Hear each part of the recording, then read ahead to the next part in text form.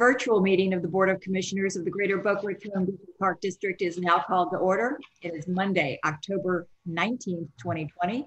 It is now 5:16 PM. Joanne, would you please call the roll? Sure. Commissioner Ehrnst, Here. Commissioner Engel, Here. Commissioner Rollins, Here. Commissioner Vogelsang, Here. and Commissioner Wright. Here. Thank you. Thank you, Joanne. Uh, Commissioners, are there any changes to the agenda? Hearing none. It's time for public requests. Uh, Brianne, would you read the ones that have come in first, and then we'll call upon the public? Yes, I will. We have one um, from Regina Eklund, 5201 Northwest 2nd Avenue. The day Mayor Singer announced the Boca Country Club deal, I sent an email to all Beach and Park District Commissioners and City Council expressing my shock and dissatisfaction with the city's decision. The loss of getting an 18 hole course in the Boca Teeca community after years of promises by Mayor Singer and being told to just be patient is an unbelievable betrayal. While it provides an 18 hole championship course, tennis courts, and a fancy clubhouse, Boca Country Club is not a good facility for beginner and recreational golfers and those who prefer to walk the course rather than ride. I have pointed out the need for an executive course and urged Beach and Parks to proceed with their plans for the east side of the Ocean Breeze property with an executive course, putting course, putting course, excuse me, driving range, and learning mm. facility. Some on City Council do not understand that Red Reef is not an executive course. Beach and Parks understood the need for creating a golf facility for all ages and abilities. The city has failed to do that in the acquisition of the Boca Country Club. Additionally, I think Beach and Parks would be wise to either hold off on big plans for the west side of Ocean Breeze or create an open passive park that could be converted to the planned 18 hole course in the future. I do not see the Boca Country Club facility succeeding as a well utilized course, and I believe there will be issues with availability of tee times, league play, and fees, as well as much higher maintenance costs than the city is willing to publicly admit. This deal that was conceived behind closed doors, the legality of which needs to be investigated, is not a good deal for golfers, taxpayers, residents of, of the BCC community, or residents of the Boca Teeca community. We need to demand full disclosure of the details, the contract, and obligations of the BCC deal. City Council has further set up the Beach and Park District to fail in repaying their financial obligation to the city for the west side of the Ocean Breeze property. First, they prevent you from raising the millage rate in 2019. Then they stall and withhold any financial assistance or approval for the construction of the golf course for more than a year. And now they acquire a golf course less than three miles away from the intended Beach and Park District course to kill the project and thereby completely eliminate the district's ability to open a course and generate revenue to pay for the property. While stabbing the Beach and Park District in the back, City Council has done this as a slap in the face to the Boca Teeca community. They have chosen to make a deal with a billionaire and bail out a wealth, wealthy community and corporation rather than allow the renovation of the 200 acre golf course that will re- revitalize a community. I ask that you proceed immediately with the planned golf facilities on the east side of the Ocean Breeze property that you demand that the city relinquish any rights to extend Clintmore Jeffrey through Dixie Highway, and that you maintain and protect the west side of the property from the city and from developers. We put our faith and trust in you. Thank you. I have, I have an additional one that just came in from um, John Mark Jenkins. Greetings to the council and thank you for your service. I will be brief. Please consider moving forward with the golf course west of Second Avenue. I think foregoing the bigger, expansive idea of including the executive course in the golf academy. Keep it simple, make it great, save money, build a magnificent 18 hole course using all the west side of Second Avenue, along with a nice clubhouse, snack bar, and basic driving range practice putting green. Boca needs one to two courses in the east that can handle the numbers wanting golf and will help with not being able to get tee times or having to always golf with a foursome. The new city course of Boca Country Club should not deter the beach district one bit. The numbers and desire are there. The property values and tax revenues will go up, helping all park areas. Keep it simple, make it great. Thank you, John Mark Jenkins. Okay. If you would call upon uh, the people waiting to speak, uh, I know Mr. Hurd and Mr. Galanis are waiting. Okay, Mr. Hurd, if you want to unmute yourself and start talking. No, you were ready. Okay, thank you very much.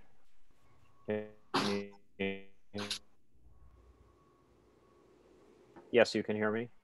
Yes, Now we can. address, Okay, thank- Rick, please. Thank you. Yes, it's Rick Hurd, two, Uh-oh, going in and out. and uh, it's great to see all the commissioners again. Coming through okay? Better now. We lost All my lost you. comments to Brianne so she can read them if needed. Um, I'm still, Rick, you're going in and out. And maybe it's better if you read them since you Yeah. do have, Okay, Rick, if you want to mute, I'm going to go ahead and read your If I'm email. not coming through clearly, then that's fine. I have it, yeah. Okay, I'm going to read this out loud. Rick Hurd, PGA, U.S. Kids Golf Top 50 Master Kids Teacher, U.S. Kids Certified Instructor, owner, partner of Don Law Gaff- Golf Academy. I wish the city well in its endeavor to reposition the Boca Country Club as the new Boca Raton Municipal Golf Course. I am very familiar with the Boca Country Club and it has its pluses and minuses, but has the potential to serve as an excellent replacement for much, but not all, of the existing Boca Municipal. Boca Country Club is a nice golf course, but it has some limitations in the way it's designed around the power lines and through the community. This makes the course less interesting to play and more difficult to navigate for walking and golf course control of things like pace of play. While it is a nice facility, it pales in comparison to what was designed by Price Fazio for the Boca Teeca Ocean Breeze property. Frankly, it is not as nice a course as the existing Boca Municipal. The biggest shortcoming of Boca Country Club is the driving range and practice area, which is poorly located relative to the pro shop point of control and is too small to serve the volume of golf traffic to be expected. This area was located and sized for a small private club operation, which worked well, but will be inadequate for municipal play. Furthermore, as you know, the Boca Raton uh, Country Club facility does not include an executive or short course, which has been an important feature of Boca Municipal. Keep in mind that the existing executive course has served more than 25,000 rounds of golf annually. There will continue to be a strong demand for a nine hole short course, not a par three, but a true executive course. Red Reef Golf Course will not be a suitable replacement for the loss of the Boca Municipal executive course. It is too short and is already also serving approximately 25,000 rounds annually.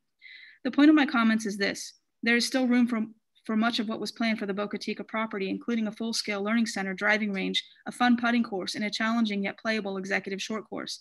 I believe we should revisit the overall plan in light of this development and reconsider where these elements should be located. Factors to keep in mind will be eliminating the need for a tunnel under Second Avenue, anticipating the future extension of Jeffrey Street to Dixie Highway, and keeping options open for a championship 18 hole course on the northwest and southwest properties in the event the Boca Country Club donation plan falls through. Other factors will include the possibility of adding other recreational elements to the property, such as a field house, walking trails, biking trails in both active and passive play areas. The bottom line is this Compared with Boca Municipal, Boca Country Club will be a huge upgrade in clubhouse facilities and includes a pool and nice tennis facility. However, Boca Country Club can act as a replacement for only about two thirds of the current Boca Municipal golf traffic, and Boca Country Club's driving range is no larger than the one at Boca Municipal. We must also remember that prior to its closing, Ocean Breeze was an extremely busy golf facility, serving 70 to 80,000 rounds per year, far more than the Boca Municipal. This East Boca demand still exists. Boca Country Club will not have the capacity to serve legacy Boca Resort members, relocated Boca Municipal golf, golfers, and East Boca golf demand. There will still be a need for a quality executive course and championship learning center at Boca Teeca. thank you, Rick. That was uh, the good points. Um, Mr. Galanis? Can you guys hear me okay? Yes. Okay, uh, good evening, and it's uh, really good to see you guys. I look forward to seeing you in person. Uh, Greg Galanis, 1780 Southwest 22nd Ave. And uh, for um, everybody on, I requested extra time as I am the president of Boca Golf Association and I am representing the interest of over 200 golfers. So it's my intention to get through this stuff quickly, but I've got a lot of information. There's two pieces to what I want to cover. One is um, a, a recent communication that I sent to the mayor and the city council, and I'll read it for you now. Uh, Mr. Mayor and City Council, while our golfers are pleased and appreciative that we will be getting Boca Country Club as our new public course, October 1, 2021, we have some concerns. The golfers are very pleased with the prospects of Boca Country Club becoming our new course, but the taxpayers should be concerned about the 25 million the city co-sponsored and loaned Beach and Parks to acquire the Boca Teeca course. The golfers are concerned about potential rate hikes um, for the city residents playing our new course, given the debt service and annual losses that Boca Country Club allegedly carries. Uh, number two, the rift between the city and Beach and Parks Commission must end. Both parties need to come together and do something good for the residents. Boca Teeca site has sat idle for way too long and needs some TLC. Number three, when the beautiful 27 holes of Boca Municipal were sold, the players who have patronized our beloved course for many years were devastated. Most notably, our women's league, who play the executive nine and numbers nearly 100 players.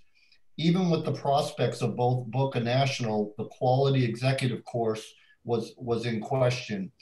Uh, as it is doubtful that the market could support two public championship courses, we would ask that the city take some of the proceeds from the sale of Boca Municipal and invest in a quality nine-hole short course and practice area on the east side of Second Avenue at Boca Teeca.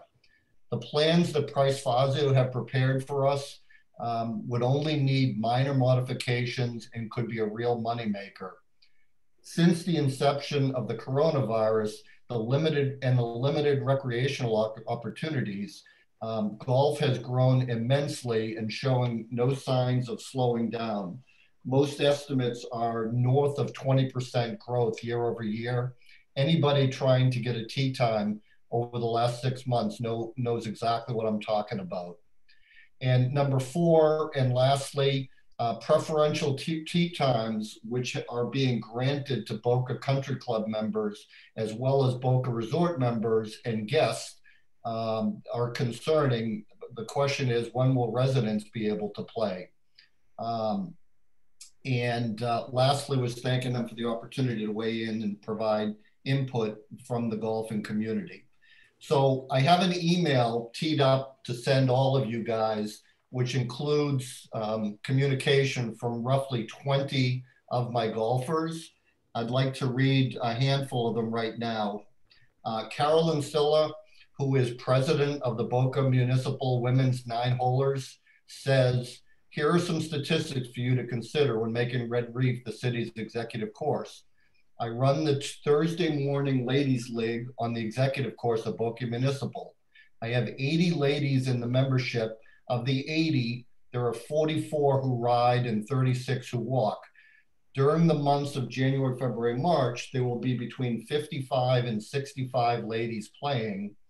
Using an average of 60 players, there would be 33 riders and 27 walkers with with COVID 19 still a concern, most of the ladies would want one golf cart per rider. I can assure you right now that uh, Red Reef does not have 33 carts, and they couldn't even support the, this um, uh, women's league. Um, the next email is from Tom Lambert, who is president of the Boca Muni Men's Golf League. Uh, Tom is also a resident of Boca Teeca. We need a golf training center to replace the facility that we will be losing once Boca Municipal Golf Course on Glades Road is closed. A new training center that would include a driving range, professional golf instruction, and an executive type course for the training of new golfers, especially young children and also for senior golfers who are no longer able to play the regular golf course. The type of golf center that we need should offer training for young golfers the practice of fundamentals uh, and, and their golfing abilities, something that could be worked out to facilitate uh, golfing curriculum at the university. The Red Reef Golf Facility does not have the space for a training center. The course is too short, limited space uh, for growth, and both in the area of parking uh, as well. Uh, the best place to build a golfing training center to suit the needs of Boca Raton citizens would be on that portion uh, previously Ocean Breeze on the east side of Second Ave. the next uh, email is from um, the head of the Women's Ladies Championship Golf League. And um, this is uh, Cindy Tomeko there seems to be an assumption that our beautiful Red Reef facility can, can substitute for a current Boca Municipal Golf Course. Perhaps we need to take a look at what comprises the quality executive course specifically uh, as it relates to a par three course. Um, Red Reef, while, the, while Red Reef is a gem, no way mimics the inclusive experience of a quality executive golf course. The length is too short, not challenging enough, and there are no practice accommodations. Additionally, bag drop is small and congested. There are no bag attendants. Carts are very limited and uh, parking, uh, the facility is, is overwhelmed with the parking as it exists today. So I'm going to shift gears here. I'm going to send you the rest of the emails. I will not bore you reading them. Um, I've got a couple that are critical. Um, Joel Bowie, who is vice president of the Boca Golf Association, uh, has written to you guys in the city council, and he says, I've been following um, the, the city council members. I think the reasons they stated below the executive course and practice area, similar to the Price Fazio design and proper use on the east side of Second Ave. I think it is critical that the Greater Boca Raton Beach and Parks commissioners have something positive to show after spending three years and millions of taxpayer dollars. A really nice golf facility uh, would be a popular facility and a positive for Boca Raton and the Greater Boca Raton uh, Beach and Parks Commission. For several years, I've been following with great interest the Boca, Boca Raton course saga. First, congratulations on obtaining the gift of Boca Country Club. That's terrific news. I believe the course will need some minor modifications with shorter tees um, to be suitable for as a municipal course. Uh, but that should be no problem, and it's a first-class facility that will be an asset to the city. I know you'll be meeting with Beach and Parks commissioners to discuss the Ocean Breeze property. I strongly suggest that an executive course and practice area be considered for the property east on Second Ave. Um, Boca Raton has many golfers who prefer to play all of their golf on a shorter course eh, for a variety of reasons. Plus, a proper executive course gives accomplished golfers the opportunity to play a quick round and, and work on their game. in, in a subsequent email, and I talked to a few of you commissioners over the weekend about your obligation to get approval to work on the east side. And I think there's a misunderstanding. Um, and I, I, want to read uh, another note from Joel. The preamble to the city's interlocal agreement that requires the city's approval on the plans clearly omits the east parcel it says, as you know, pursuant to resolution 10-2018, the city district enter into an interlocal agreement whereby the city provide the city provided $20 million in funding through a city issued bond financing to the district for the acquisition of Ocean, Ocean Breeze Golf, Breeze Golf Course. The district also acquired the former Ocean land east of Second Ave, point, uh, uh, plus or minus 72.53 acres, directly from the seller without financing from the city. The city has no ownership interest in those lands and the interlocal agreement terms and conditions are not applicable to them. So, uh, Jacob, I know you looked at some of this stuff uh, over the weekend, and when I'm finished here in a couple of minutes, you'll feel free to respond. Um, in summary, Red Reef is too short. Uh, it's not challenging for the average golfer.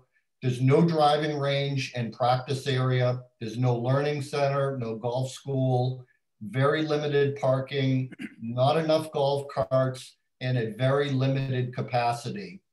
Um, this morning, I did a public records request, and I'd like to share with you the amount of rounds played on all three courses, championship, executive, and Red Reef over the last two years. Uh, and again, um, I am sending you guys this email right, right as I finish speaking here.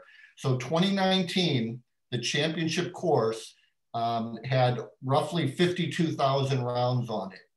The executive course had roughly 21,000 rounds on it, and Red Reef had over 26,000 rounds on it. 2020 year to date, championship course, 40, 47,000 rounds. Executive course, 20,000 rounds. And Red Reef, 22,000 rounds. And I, I need to caveat these numbers um, because the championship and the executive course include a 42 day closure due to the virus at the height of the season. So um, they are estimating uh, lost rounds on the championship course uh, of roughly 8,000 rounds. On the executive course, 3,200 rounds. And on Red Reef, over 7,000 rounds. So you could add those to the year-to-date totals to uh, have some greater perspective on the volume of golf that's played, in addition to the growth year over year. The last piece of information I want to leave you with, and it's included in the email I'm sending you right now, is a screenshot of the scorecard at Boca Municipal Executive Course, which shows from the white tees all the way back 1,877 yards versus Red Reef, which some people think is an adequate replacement from the white tees all the way back 1,357 yards. Over 500 yards difference on a nine, nine hole course is, is huge. Uh, with that, I will, I will wrap up and I'm sending you guys this email right now. Thank you. Greg, thank you very much. Uh, Brianne, you have another e um, email that has come in? I do. Um, this was after our time frame, but we're going to go ahead and read it online. Um, this is from Scott Conwell. As a resident of Boca Teeca and East Boca who has discussed the area plan with many residents, we are celebrating the current opportunity to, opportunity to turn Boca Teeca into a great recreational location, optimizing each half of the soon-to-be park, 130 acres west of 2nd Avenue and 70 acres east of 2nd Avenue, next to the railroad tracks.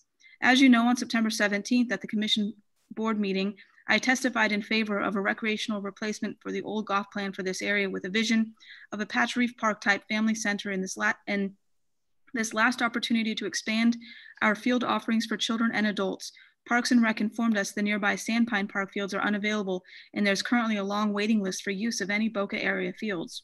Incorporating a playground, outdoor rinks, soccer, box, lacrosse, and inline hockey, and unpaved mountain biking and the in the wild hiking, nature trails, jogging, hiking trails, I stated that these activities are least served and most needed by the current recreation menu and would be the biggest and most notable expansion of services offered to our residents.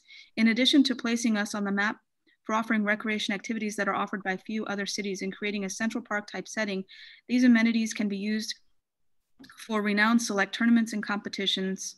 Scott Conwell. Thank you, Brian. Is there anybody else with a hand up? Let me check the list here. Okay.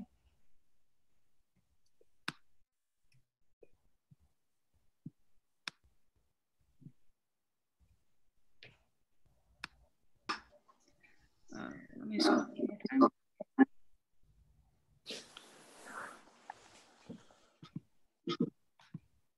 Seeing anybody with their hand raised. I have Mr. Chaffee muted. I don't, are you planning on speaking? Yes, Okay, go ahead. Name and address. Okay. my name is Harold Chaffee. I'm the, the president of Keep Up in Boca. I'm 6200 Northwest Second Avenue. As you, uh, then the residents of Boca and also uh, Keep Golf in Boca were very disappointed and in shock, actually, with the decision that the city had made. Uh, there was no, uh, there was no, um, no real contact with anyone. It was just uh, out of the blue. You know, we, we get really depressed, we get disgusted, but you know what? We lick our wounds and we move on. And I, I, I have to concede to all the, the people who talked before me, uh, more eloquently than I can talk. But I think that this area here, I think there is, a, is still a need for a, a nine hole, a driving range, uh, a learning center on this property. And then basically just taking a, a deep breath and leaving the, the west side, uh, basically just basically maybe do some little trails or something on the other side, but keep it in, in, in the, uh, in the bank. You know, don't use it. Don't do anything with it. Just basically keep it, see how things go with this with the uh, new endeavor that the city is going to go into, which is acquiring this uh, this large uh, piece of property, which basically uh, the, the predecessor was losing two and a half million dollars on just to keep it open. I don't know how they're going to do it, but uh, good luck. And like I said, it's a great, it's a great asset to the city, uh, providing it's used properly. And I, I, I think we should just uh, move forward and develop this land. I really do. It, and it's going to be a tremendous asset to the city. Okay, thank you very much. Thank you, Mr. Chapp. Is there anyone else, Brianne? You're muted. Sorry, I do. Uh, phone number ending in 9508. I'm going to unmute you. If you'll state your name and address, please. Hello, this is Robert Duquette, 5351 Northwest Third Terrace. Hi, Mr. Duque. Hello. Hi. Hello. Hi, this must be uh, uh, unfortunately a somewhat disappointing uh, meeting, I'm sure, for uh, most of the people on the uh, district. I know that the uh, a lot of residents uh, may have sent you some nasty emails or talking about they uh, betrayed us, but of course, uh, people who follow this closely know that the Beach and Park District was uh, uh, unfortunately heard about the rumors of the last few months and uh, were equally disappointed to hear the donation. But I think that uh, both as a Boca Teeca resident and as a golfer, it's important that we move forward and recognize that uh, the golf decision has been made and uh, golf should not be a part of any new development plans. Uh, with regard to comments about the executive course and the lack of uh, the executive course being uh, available, I can tell you Red Reef is an excellent golf course for beginners and seniors. As a matter of fact, yesterday I played the Red Reef golf course uh, with a beginner, and it's a great oceanside course. It was $10 for an out of state uh, uh, visitor to go and play that course. Maybe that's actually too low. Maybe that's why they're losing so much money. Also, for golfers who want a longer nine hole course, there's an easy solution. The city can add senior tees on the course. Make it whatever yardage they want. If they want it to have the same yardage as what it was at uh, Boca Municipal, that's easy enough to do. There are a lot of uh, courses out, out there that have senior and junior tees markers out on the golf course.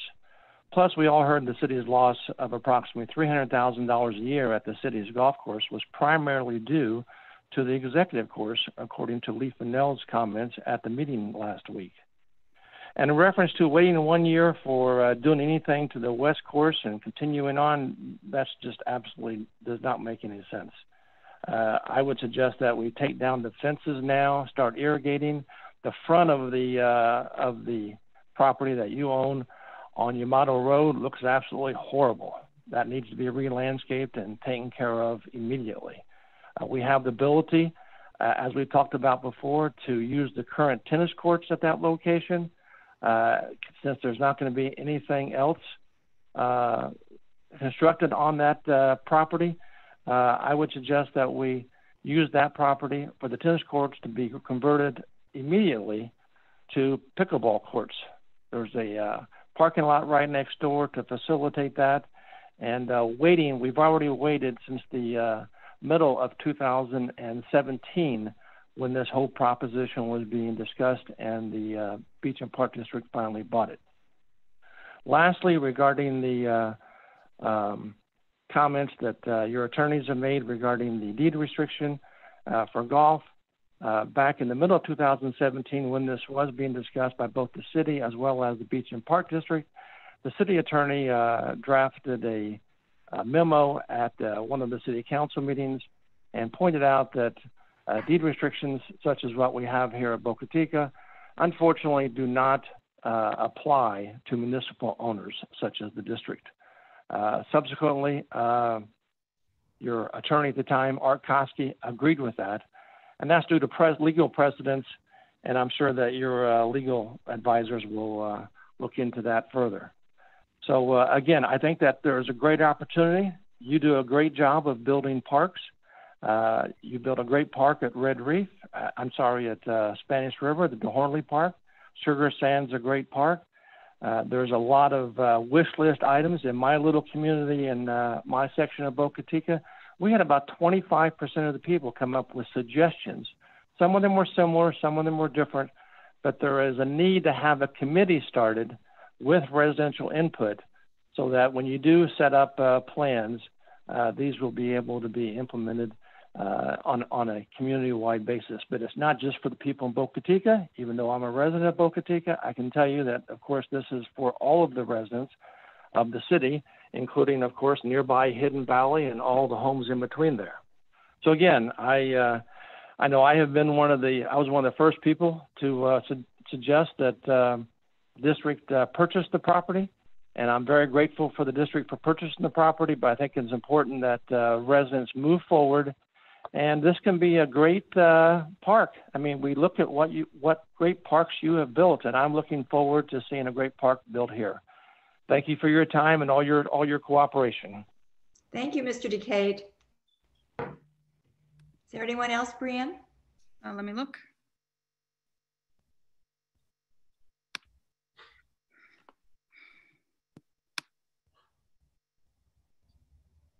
I see nobody else with their hands raised.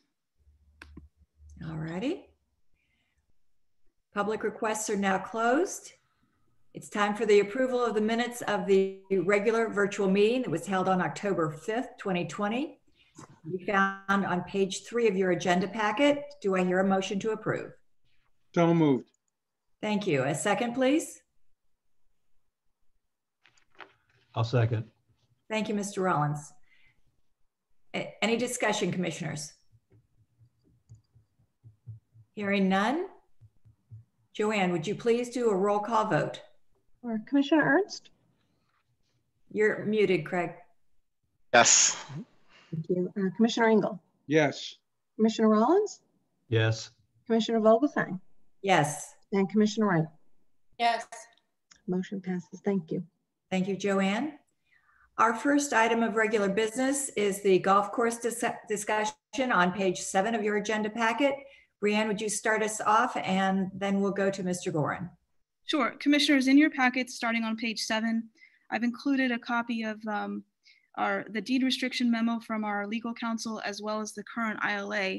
I think it's, uh, last, last week, the city accepted the gift of a golf course. Obviously, there's a conversation to be had about what to do with Boca Teeca, but before we start that conversation, we are held by an interlocal agreement. We have not received any communication from the city regarding that interlocal agreement. So I wanted Sam and Jacob, if he wants to join in, Mr. Goren and Mr. Horowitz, to kind of talk about where we are legally as far as what we can do and can't do before we start planning um, what to do with Boca Teeca. So I'll turn it over to Mr. Goren. May I speak, Madam Chair? Welcome, Mr. Goren. Nice. Good to evening, Madam Chair, Commissioners, good evening as well. Welcome to Monday evening. Um, Since the public disclosure of the donation offering um, of the Boca Golf Course to the City Council, which was, I believe, accepted this past week by the City Council, uh, we have done some homework and some research and would like to offer up the following information for you as you begin to deliberate on the subject of the golf course further. Uh, number one is the fact that the, the interlocal agreement was entered into in 2018, was entered into in good faith. It's a mutually beneficial document. It is a binding, enforceable, and legally con- legal contractual relationship between the Boca Park District and the city of Boca Raton. Uh, nothing with regard to the donation offering or the city's acceptance of a donation uh, has any contractual legal impact on the current agreement, which exists between both the district and the city. That, that the, the ILA, which is made part of the packages this evening that Brianne attached to the, to the agenda, again, is a legally binding and enforceable document. It's an interlocal agreement pursuant to state statute, pursuant to Chapter 163, which contemplates relationships such as this between local governments, not private parties, local governments. Um, and there are certain terms and conditions and provisions in the interlocal agreement which remain in play as we speak this evening. The consequence of which is that the district has in good faith engaged uh, after a search of the Price Fazio firm, a qualified golf course developer. Um, we worked together, Jacob and I, along with uh, your staff, uh, to negotiate with and to conclude an agreement. I think, Jake, we, we finalized the document probably a you know, year and a half ago, round numbers, uh, essentially to engage Price Fazio to assist the district in the design and construction of a golf course with regard to the transaction contemplated between the city and the district. And that contract is still in place. And the dis- district has expended money, public, public, public money, Um, and the, uh, the folks from Price Fazio have performed their functions in accordance with their agreement with the district as well.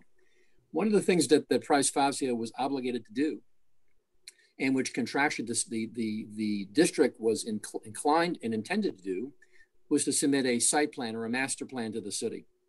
You may all remember that you all voted on. In fact, there were public discussions, public meetings, uh, public input, even joint meetings with the town, with the city council in Boca Raton, evidencing the, the interest in the district in submitting a plan for consideration by the city of Boca Raton.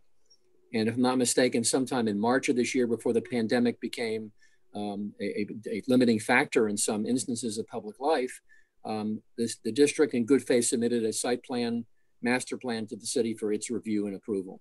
You may remember that in the language of the interlocal agreement, which is a mutually beneficial document to both the city and the district, there's language which says that if and when the district submits a plan, that that plan shall be reviewed by the city and shall not, the, the consent or approval of which shall not be unreasonably withheld. That's in the document. It runs to both parties. So as we speak this evening, there is an existing interlocal agreement. The donation offering and the donation acceptance has little to do with the contractual obligation which exists between both the district and the city. And as far as I can tell, given the tenor of tonight's discussion, which will evolve from this discussion I'm offering up tonight, along with any comments that Jake may like to offer, um, is a binding and enforceable document between the parties.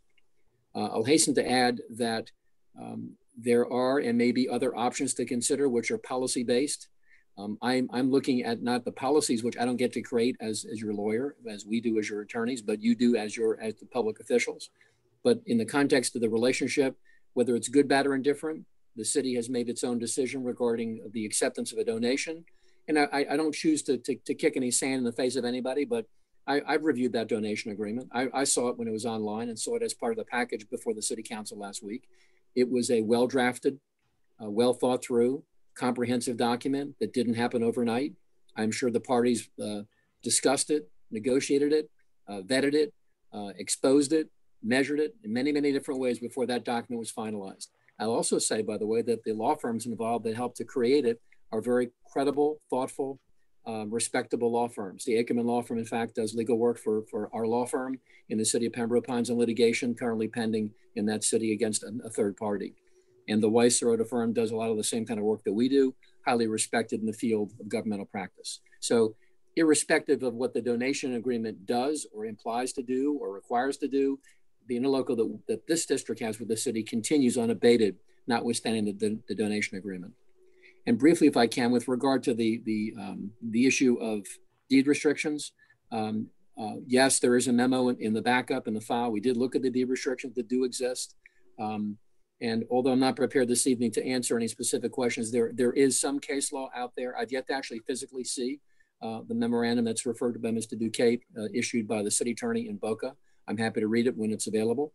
Um, I don't know that ever any, anyone was ever issued uh, by our predecessor, Mr. Koski, although I believe he was uh, told to have uh, concurred in the in analysis. And the theory of the of the deed restrictions is that that as to a governmental entity, that if a governmental entity acquire, acquires property by voluntary acquisition, as opposed to condemnation, which is taking a private property for a public purpose, that it's, it's highly likely under the case decision, or at least it's an argument that can be raised, that the uh, deed restrictions uh, do not run against the government.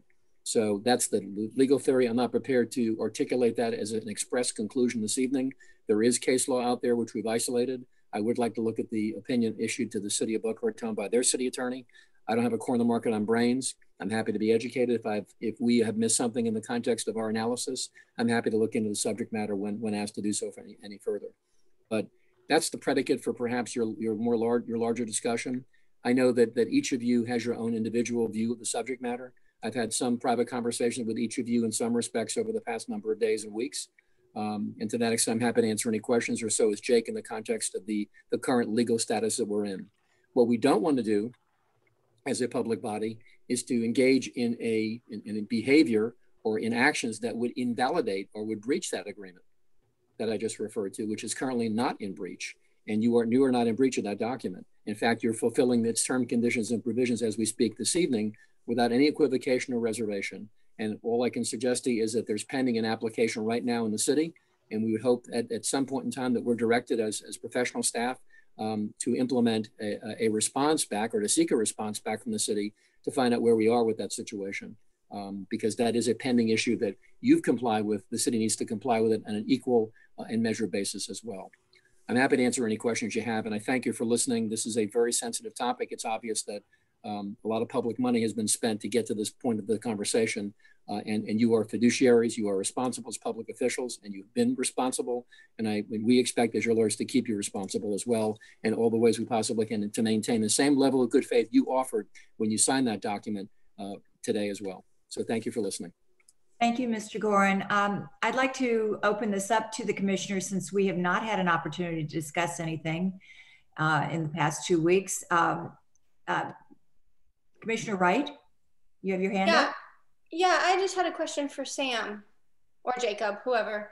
Um, in regards to Mr. Koski, I remember this topic came up. Does he have any documentation in regards to this topic on the deed restriction? I mean, he must have.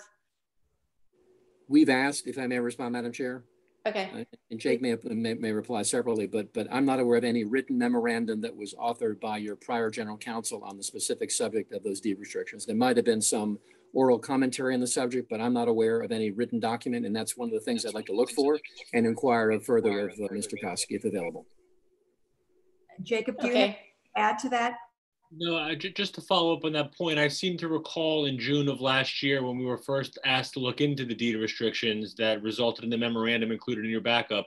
We asked that question of Mr. Koski, and as Sam said, I don't recall that there was anything in writing at that time, but we'd like to dig, dig a little deeper on that point. And I know that he's recently transitioned a number of files to, um, you know, to the district, and I know that Brianne has been going through those files. Um, perhaps there's something in there that might shed a little light on this discussion. Would there be Okay. some in the, um, in the meeting minutes, in the documentation of the meeting, Brianne? You're You're muted. muted. I will, we'll go through those meeting minutes. I, I actually sent Joanne a message already to start looking for that. I remember it being discussed. I don't remember him writing anything specific about it, but we'll go back and, and he did just deliver a lot of files here so we can look. Uh, you had your hand up, Commissioner Rollins? Yes, Sam. So uh, what you're saying is that uh, we need to hear from the city uh, to uh, comply with their part of the agreement, which is uh, approval of the site plan, which uh, approval would not be unreasonably withheld. So what happens when they give us the approval? Are we obligated to do the golf course based on the design that was submitted? May I respond, Madam Chair? Absolutely. Thank Yes, you. the answer is that, that, it- that, that a- an agreement a- or a contract runs to, to both parties on an equal basis. You're hundred percent correct. If, if you in good faith, you, the district as a public entity, um, engaged a third party to assist you in preparing a site plan and a master plan for a golf course with various amenities, and under the terms of the interlocal agreement, which is a written contract, uh, submitted a proposal for consideration by your, your alleged partner, which is what is contemplated by the agreement uh, then the answer is that, that you, you might well be then obligated to fulfill your side of the equation, which is to do what's next under the document, whatever those terms and conditions require. So the answer is yes. Um, an agreement runs to both parties equally. And to the extent that you have a submittal with the city, that the city could now turn around and say yes or no, depending upon their, their point of reference. At the moment, as not, not mistaken, through Brianne to the chair and to yourself, Commissioner, um, I think that the plan was submitted as, as recently as March and is still pending for review by the city or by professional staff. The, the last thing we got from the city in writing was on August 24th, um, that they had scheduled discussion for September 22nd city council meeting, and they were going to discuss the proposed improvements for the property at that meeting. And then later we received a call prior to that meeting that it would not be on the agenda. We don't have anything in writing from that, but that, that was the last correspondence in writing about it. So um, there is no provision in the ILA, Mr. Goren, for even if they give the approval for us to say, okay, now we've fulfilled the contract on both sides, or we haven't fulfilled the contract on both sides if we don't um, develop the golf course on the west side. Couple of observations, and I, I was not physically there, nor was Jacob when, when the agreement was negotiated, but there are some very uniquely clear terms in the in the findings provision, the whereas paragraphs. And one of the key provisions of the document speaks to the fact that the district has declared its intent to develop a championship caliber golf course and related recreational facilities on the property. And the property is a defined term. So at the time that the agreement was signed off on in February of 2018, there was a demonstrated intention on, on the part of the district to do just that. Correspondingly, there were commitments contained in the agreement that the city itself had committed to fulfilling as well in the context of its obligations. So there, there needs to be some mutual agreement as to what would happen next. But the end result is, is that there was an intent uh, to do that. Um, second part of which is the fact that um, you have in, in, in weeks and in months past talked about the term, you've used the term partnership between the district and the city. Um, and, and how you each define partnership is defined differently by each of you perhaps, but the agreement does, does by its own terms um, commit to a partnership relationship and also the, the, the opportunity um, for the purposes of pro- providing for um, this as an amenity, not just to the city of Boca Raton, but also to the district and, and the, the folks that would be served by its creation of, of this amenity. So there's a mutual term that would need to be looked at there. Uh, I have a Mr. question. Uh, Mr. Engel had his hand up. I'm sorry, Commissioner Wright. I'll get to you next. Um, My hand up. we have a, uh, as part of the ILA, the city has to give approval of the site plan that we submitted. Now, we submitted a site plan for the entirety, both east and west side. Um, does the ILA, the way it's presently constituted, provide for splitting off the east side that we own outright uh, for and submitting approval for the design of the east side? Or do, does is the city required to approve the entirety uh, of of the site plan, both east and west?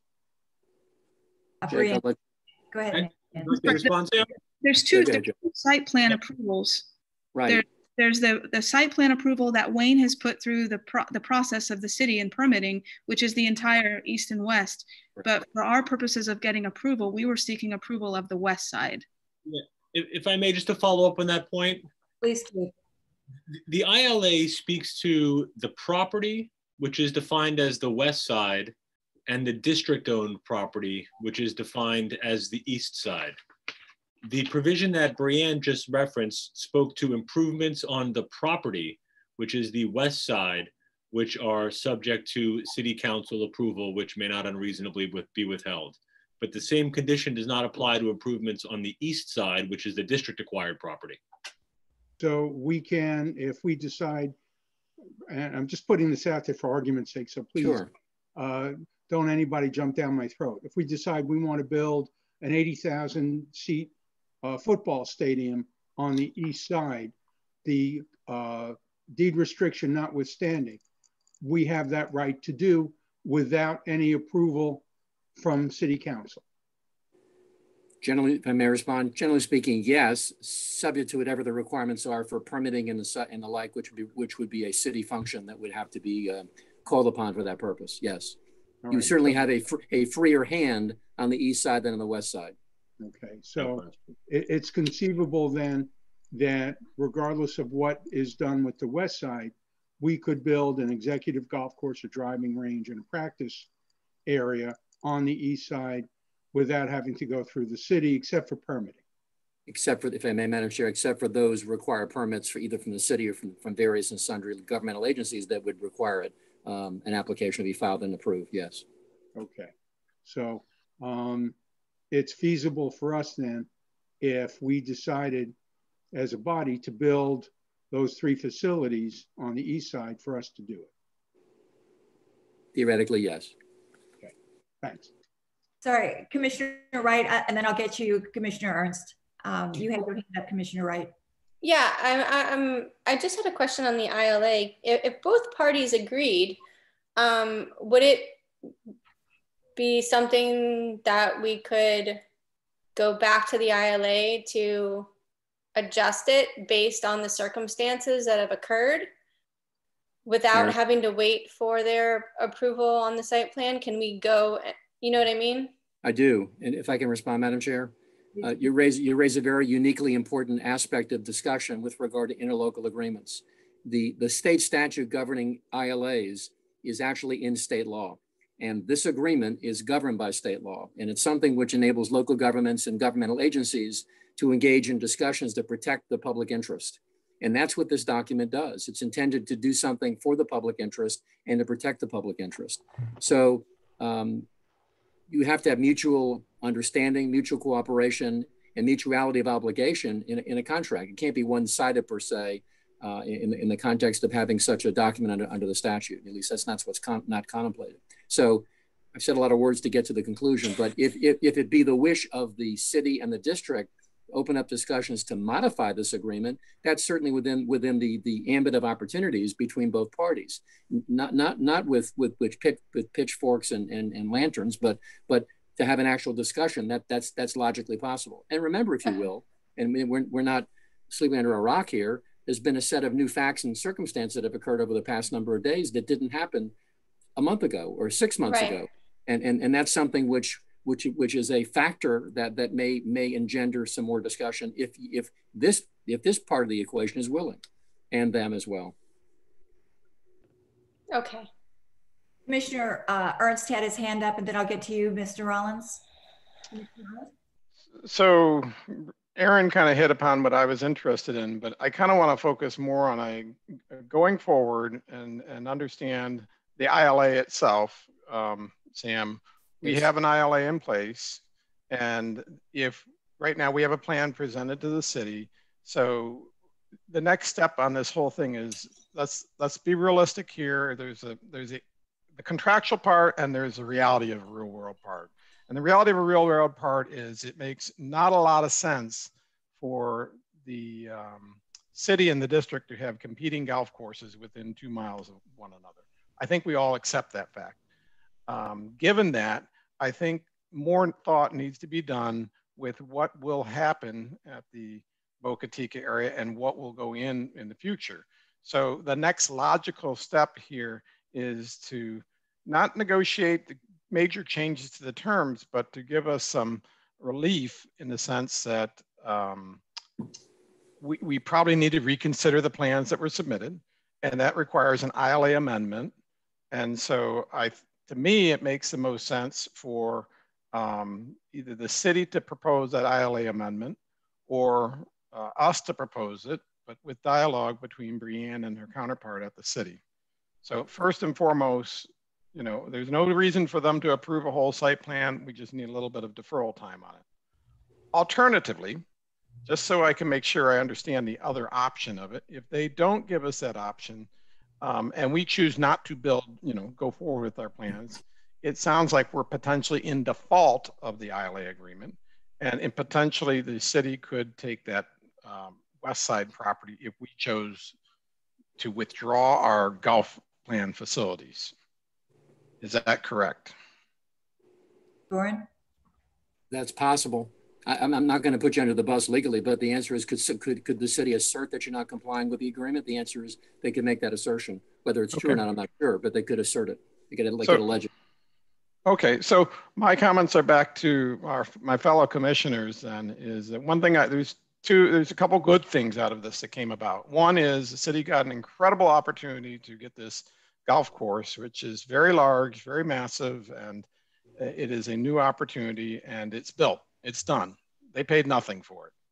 Um, we spent 24 million for our golf course, plus 2 million, plus some other things just to do all this. So we're, we're the harmed party in this whole program. Unbeknownst to us, we were harmed, but for the greater community, this is a good thing. So, you know, my take on this whole thing is, is that we need to, the, the key, there's two key things I heard is one, they got this great gift. And number two, I want to put the point of everything I've heard from the city council, and I did attend the meeting, is they want a stronger, better, greater working relationship with this district. And I think that is a beautiful starting point.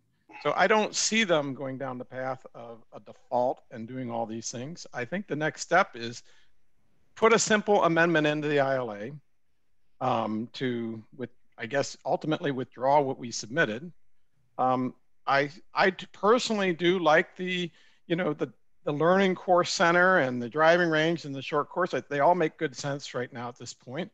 But I think we all have to kind of step back just a tad bit and get with the city. And I personally expect that the city will take a lead effort in both showing us what has come through on the needs assessment. And then we all have to assess it. And the community there in Boca Teeca has to be heavily involved in it to say, what do we ultimately want to be there? And give it a little bit of time and make a call out for it. And I will remind everyone that I never went along with this $24 million golf course purchase without the concept of some kind of revenue. And there's a couple things we learned afterwards. Is one, there's going to be a no hotel. We tore down the hotel facility, so we lost that right. But guess what? In today's environment, there is no chance of another hotel being built in that area for the next 10 years. There's just no demand. So that's gone. So I think we need to enlist, you know, some kind of opportunities. What are the, we have to have a call out for things of what are the ideas? And there may be some good ideas that come forward on it. Um, a, a, third component of it, no idea what's going on with Clint Moore or Jeffrey Street. I think it'd be clarity around that would be helpful. But all of these things kind of come back to the city.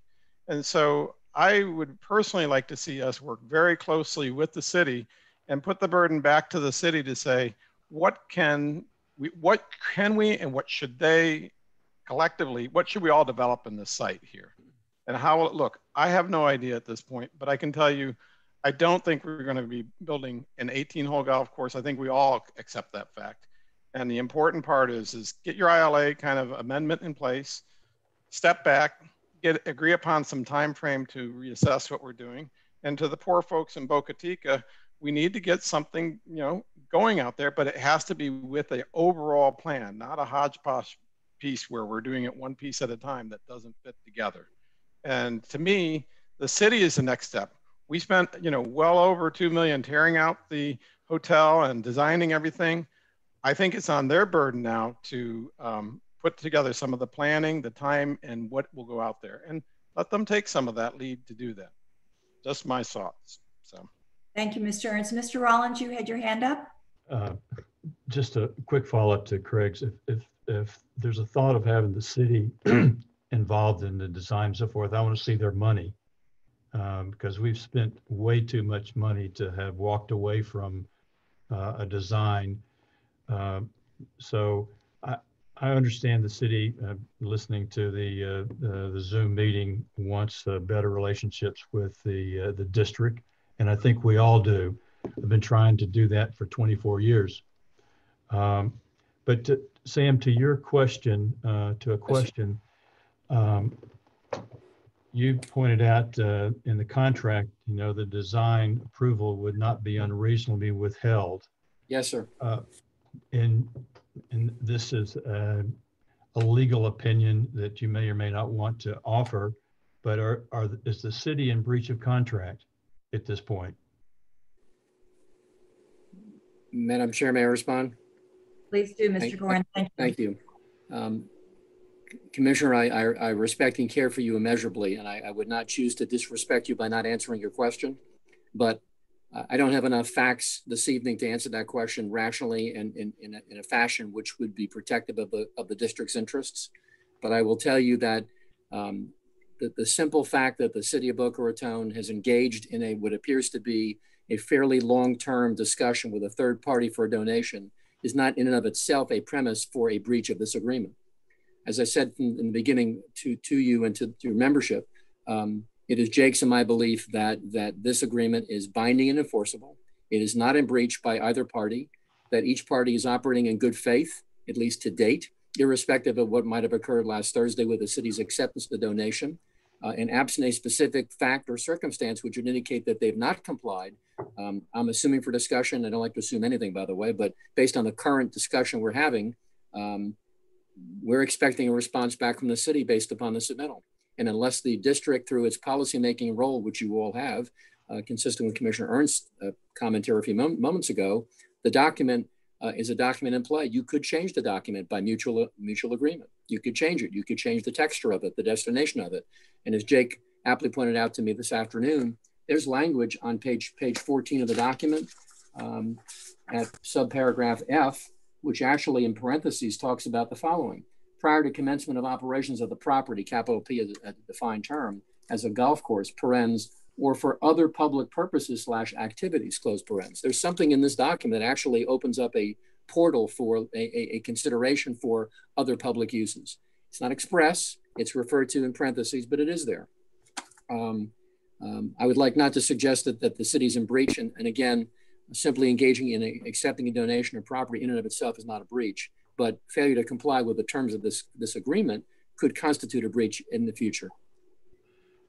And I would just add the language that Sam just read into the record refers to the property, which is defined to be the west, West- side. West side, right? Well, just, just following up on that, I mean, it had to be a question that we needed to ask, given the time and uh, resources that we've invested in this project, Sam. Yes. uh, and which is the reason why I suggested that. Uh, and to Erin's question, she beat me to the punch about uh, whether we could modify it. But I think in the modification of this, if it's a mutual thing, there's still damages that uh, one party has sustained that the other has not, and that's the uh, the resources that I mean, we're on the hook for 19 million dollars, uh, less the payments that we've made uh, at the request of, of the city to purchase this property. Uh, we borrowed the money. Um, and we spent, oh, I'm not sure what the, the costs were to the architects and supporting uh, crew, but it seemed like it's somewhere close to a million dollars that we have invested in this project. Uh, and it would seem to me that uh, uh, the, the worthy thing to do of a business partner would be to cover those damages if in fact uh, the other party has done something that uh, creates uh, uh, an untenable situation for us in trying to develop a golf course. Madam, Madam Chair, may I respond to the commissioner because he points to a very important uh, reference piece. Um, you're, you're speaking about uh, potentially bad faith negotiations or having entered into an agreement that's assumed to be based upon good faith, but because of certain conditions would exemplify the potential for bad faith dealings. I'm not prepared to argue that this evening, but I know it's a concept of the law that could be employed in this discussion. You know, whether or not the city was uh, engaging in its own negotiations contrary to the good faith that was otherwise required to impose in this agreement. Um, that's possible. I would suggest that that's a, um, uh, a, a, an argument that shouldn't be cast asunder. It's one that should be thought about and should be preserved because under Florida law, um, if the facts reveal that there was bad faith dealing on the part of the city, and I hate to say this publicly, but I have to, um, that, that would put the, the district at risk and induce the district into expending public money uh, for a purpose that couldn't be complied with because of that poten potential bad faith, that's an issue we'd have to look at at some future moment. Thank you, Mr. Goren. Uh, Mr. Engel, you have your hand up? Yeah, um, a couple of things I want to, I'd like to point out. Um, first, the reality is, as we've all acknowledged, the city uh, received a donation of property being an 18-hole golf course. That being said, the other reality is that uh, because they have that golf course, likely they will not approve our co- golf course design. And their reason being they already have another golf course. So we can forget about ever building an 18 hole golf course on the west side of the property.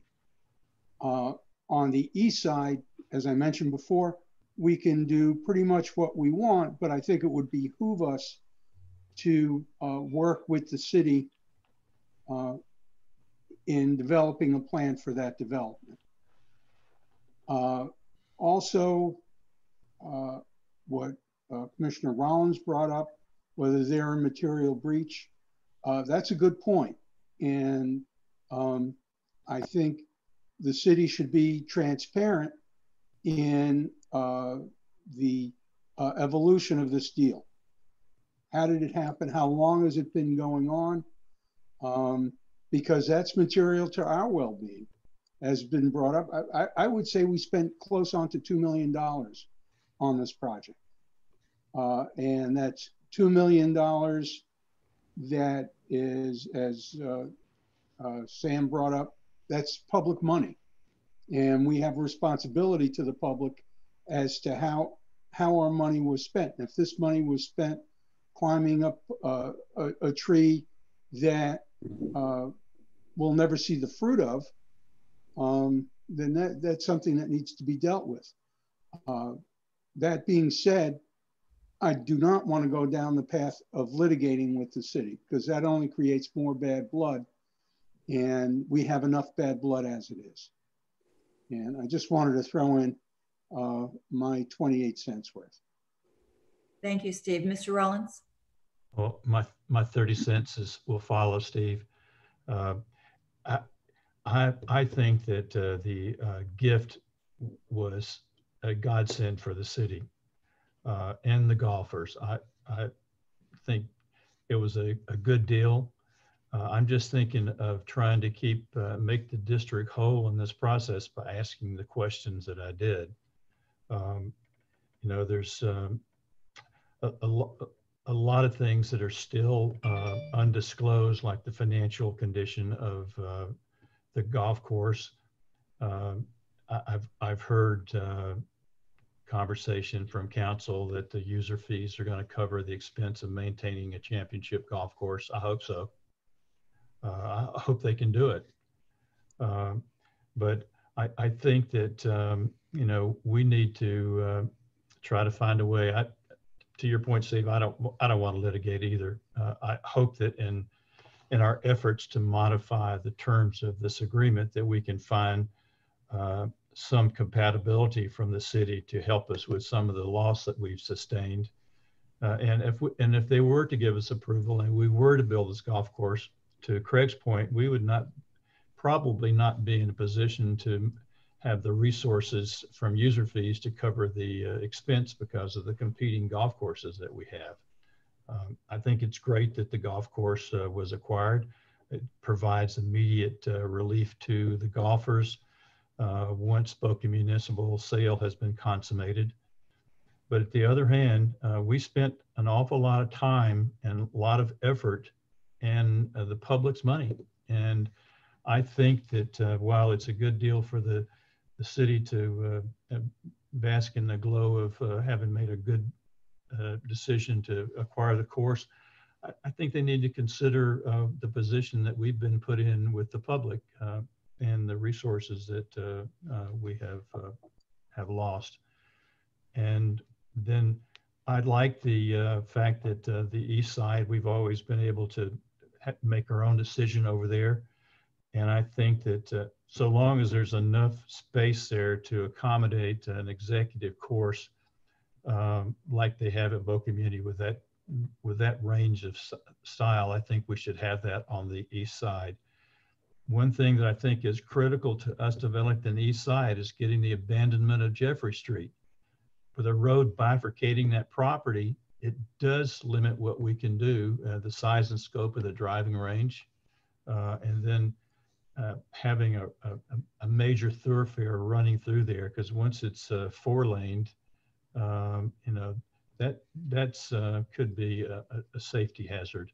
And I hope that the the city will uh, realize and recognize the letter from the Seacoast Railroad that, that they didn't think that was going to be possible, and go ahead and cooperate with us and abandon that uh, that property. So, summary, I, I, like the deal. I wish I knew more about the deal. I wish it had been more transparent. Uh, um, if it had been the district doing the deal, you know we would have had to be transparent, uh, and we would have. I understand the sensitivity of the matter, but it was the worst kept secret in in, uh, in Boca, in my opinion. Uh, but no one was uh, owning up to it, even though the negotiations, as Sam has said through his review of the documents, it was very well thought out uh, legal document making the transaction between the two parties. So um, that's my 30 cents, Steve. Thank you, Commissioner Rollins. Um, would it make any sense, commissioners, for us to direct our, our counsel to meet with the city att attorney and um, kind of hammer out some of the points and see what her opinion is and um, then come back to us about what our options might be.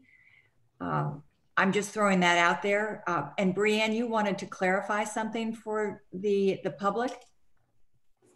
I just want to clarify because everybody's talked about the resources that we've spent and it is around 2 million, but I don't want everybody to think it's been 2 million on design. We've spent about 850,000 on design, 350,000 on the maintenance of the course, which is like cutting the grass, trimming the trees, fencing, all that stuff.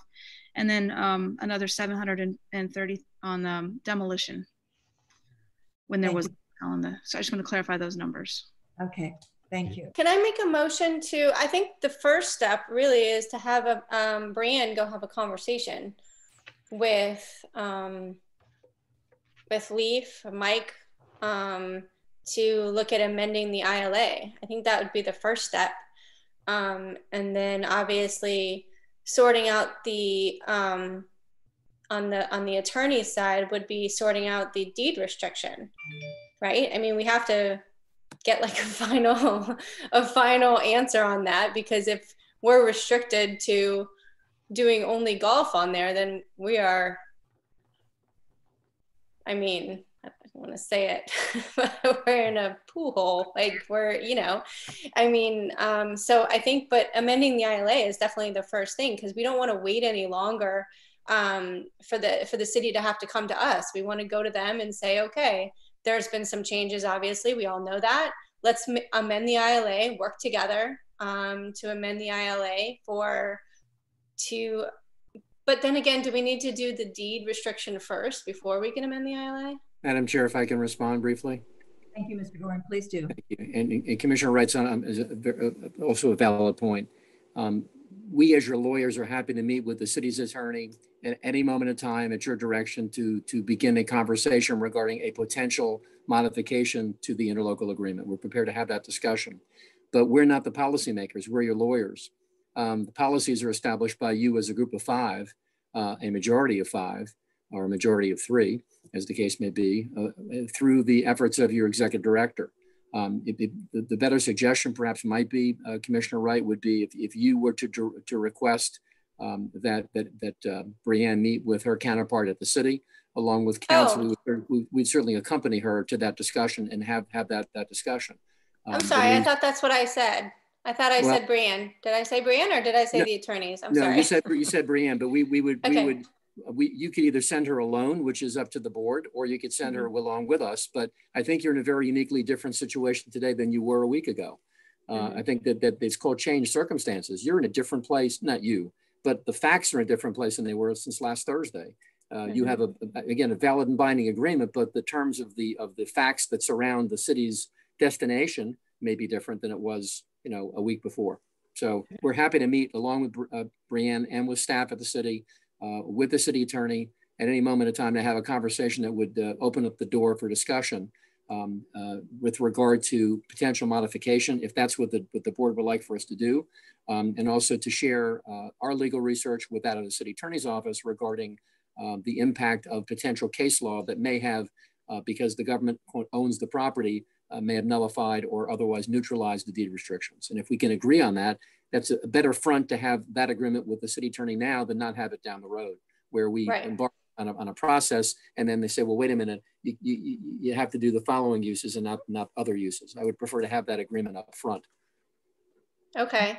So, okay, so I guess my motion would be to have Brianne and the city attorneys, or, uh, sorry, not the city attorneys, but our attorneys go and discuss the deed restriction and the amendment to the ILA based on, um, I, I guess that would be a long meeting, but, uh, I don't, I don't, may I say something before you make the Uh, motion? Actually, Mr. Rollins is the, the next one to speak. Okay. Mr. Rollins? Um, Erin, were you finished? I know you were interrupted there. yeah, I mean, I just think we need to get that sorted. Yeah, I, I, I was going to say uh, uh, that uh, I, I like your motion. I think that uh, Brianne uh, and uh, Sam or Jake uh, should go and meet with uh, Leif and uh, their counsel to see about uh, getting their receptibility to modifying this agreement uh, to where um, we we don't have to wait for their approval to get a golf course and for them to tell us yes or no. Let's just try to figure out a way to uh, um, you know, modify the agreement as such that we continue uh, our coverage of the debt service, uh, but we need to know, uh, we need to be out of the uh, issue of having to develop a golf course, uh, as, as we've discussed. Madam Chair, if I can, to Commissioner Rollins, when when he's, when he's done. Sure. And then, and then of course, uh, simultaneously to uh, getting that meeting set up either before and hopefully before investigating whether or not that deed restriction is applicable. I think that's, I think those two things are important if we can um, get those issues set, set up and resolved. Is that your second, Mr. Rollins? Yes, I, I was seconding uh, Erin Wright's. Sorry for the long-winded second. Good. Ma- Madam Chair, on, on the second, I think it's important to note for Mr. Rollins' benefit, and I recognize his, his many years of service on, on, on this, this board. Um, If, if this motion is adopted by the board and whether Jake or I or collectively we meet with the city attorney and the city manager in Boca, um, let it be said clearly and unequivocally that that, that meeting is not, um, does not in any way, shape or form uh, diminish any rights or claims that this district may have with regard to its preserve rights, where there may have been some issues between the city and the district that would otherwise be um, theoretically um, uh, eliminated by an, by, by, by an amendment to the agreement.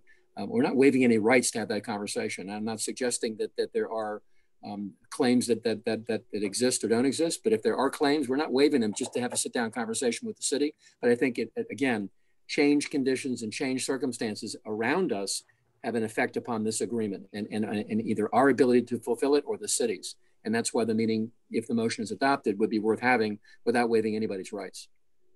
Mr. Ehrnst?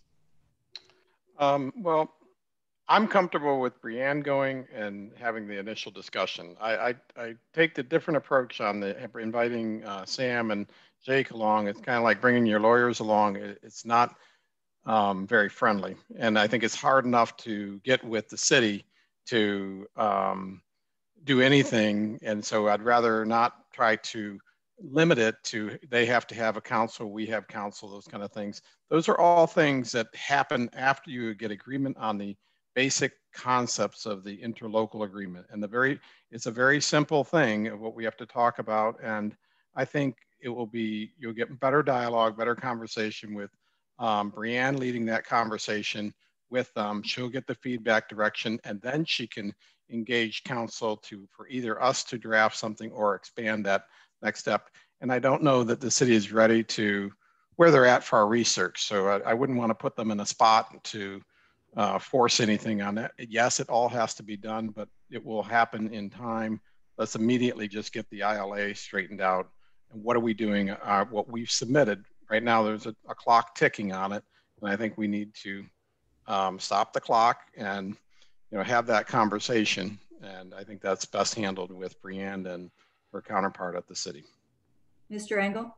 Yeah, um, I have to respectfully disagree with Commissioner Ehrnst.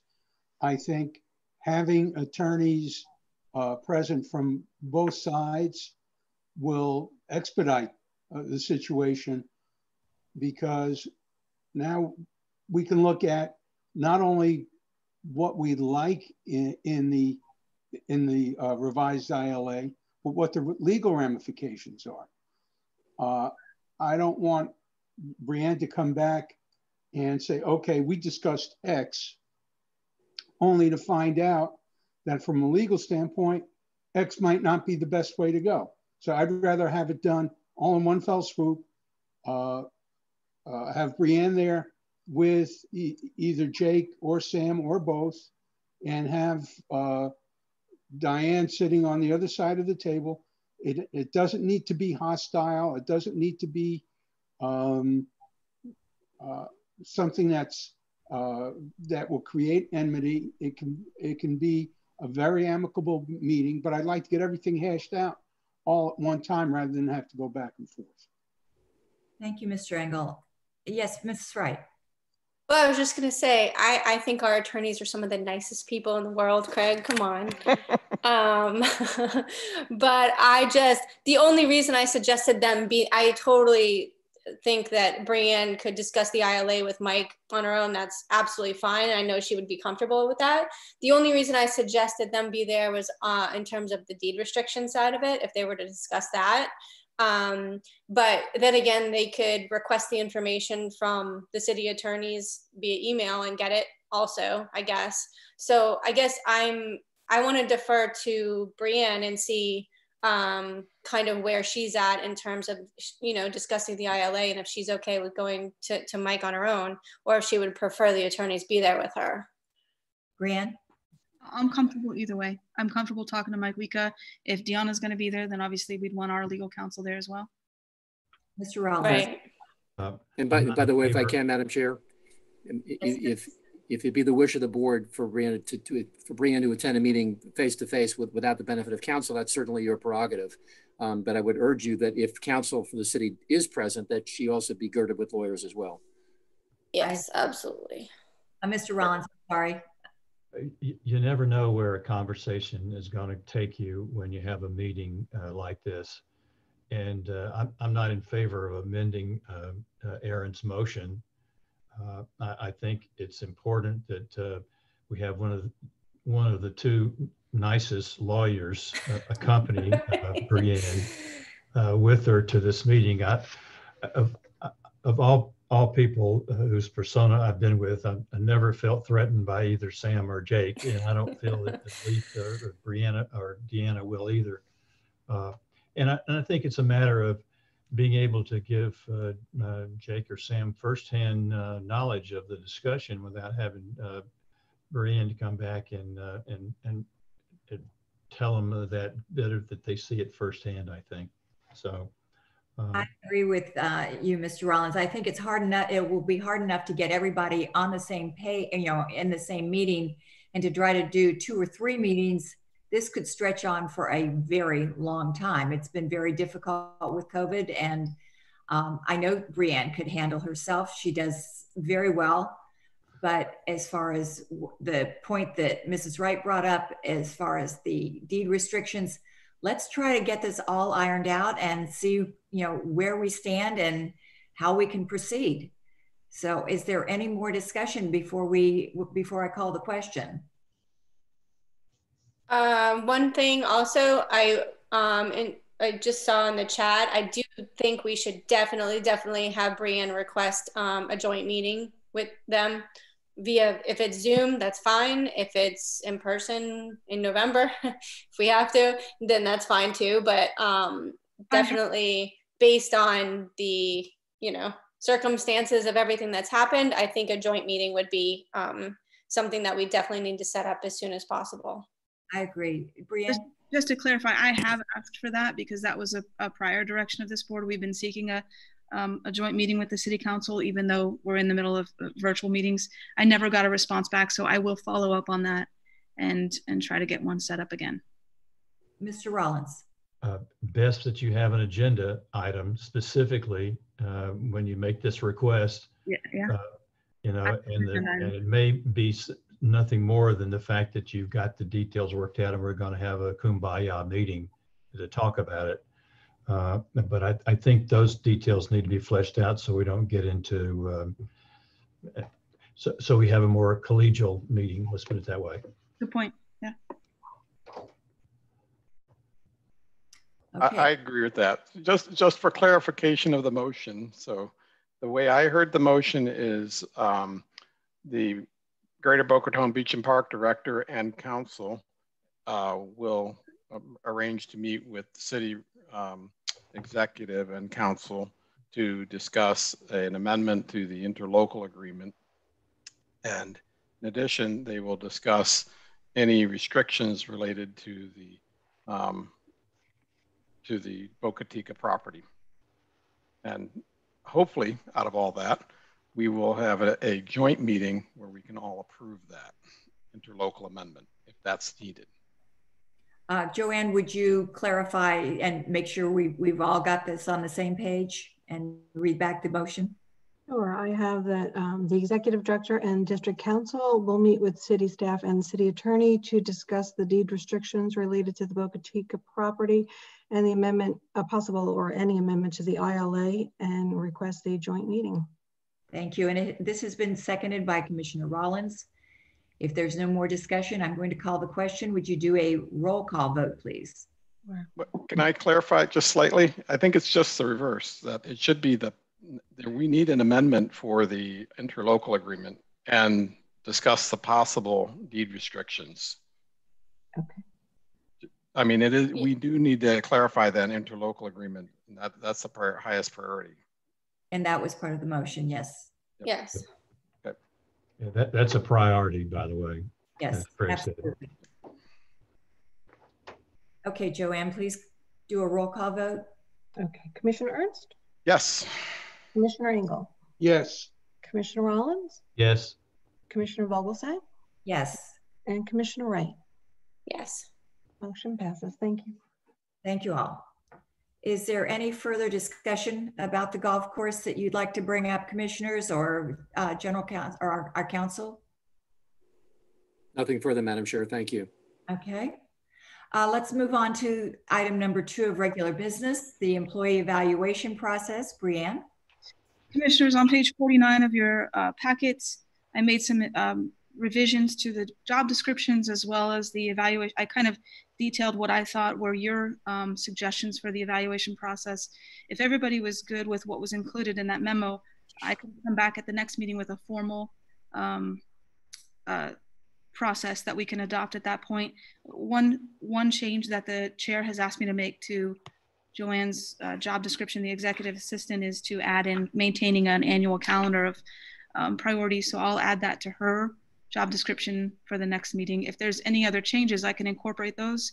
And um, if not, we'll just come back with all this as I just said it and um, finalize it at the next meeting.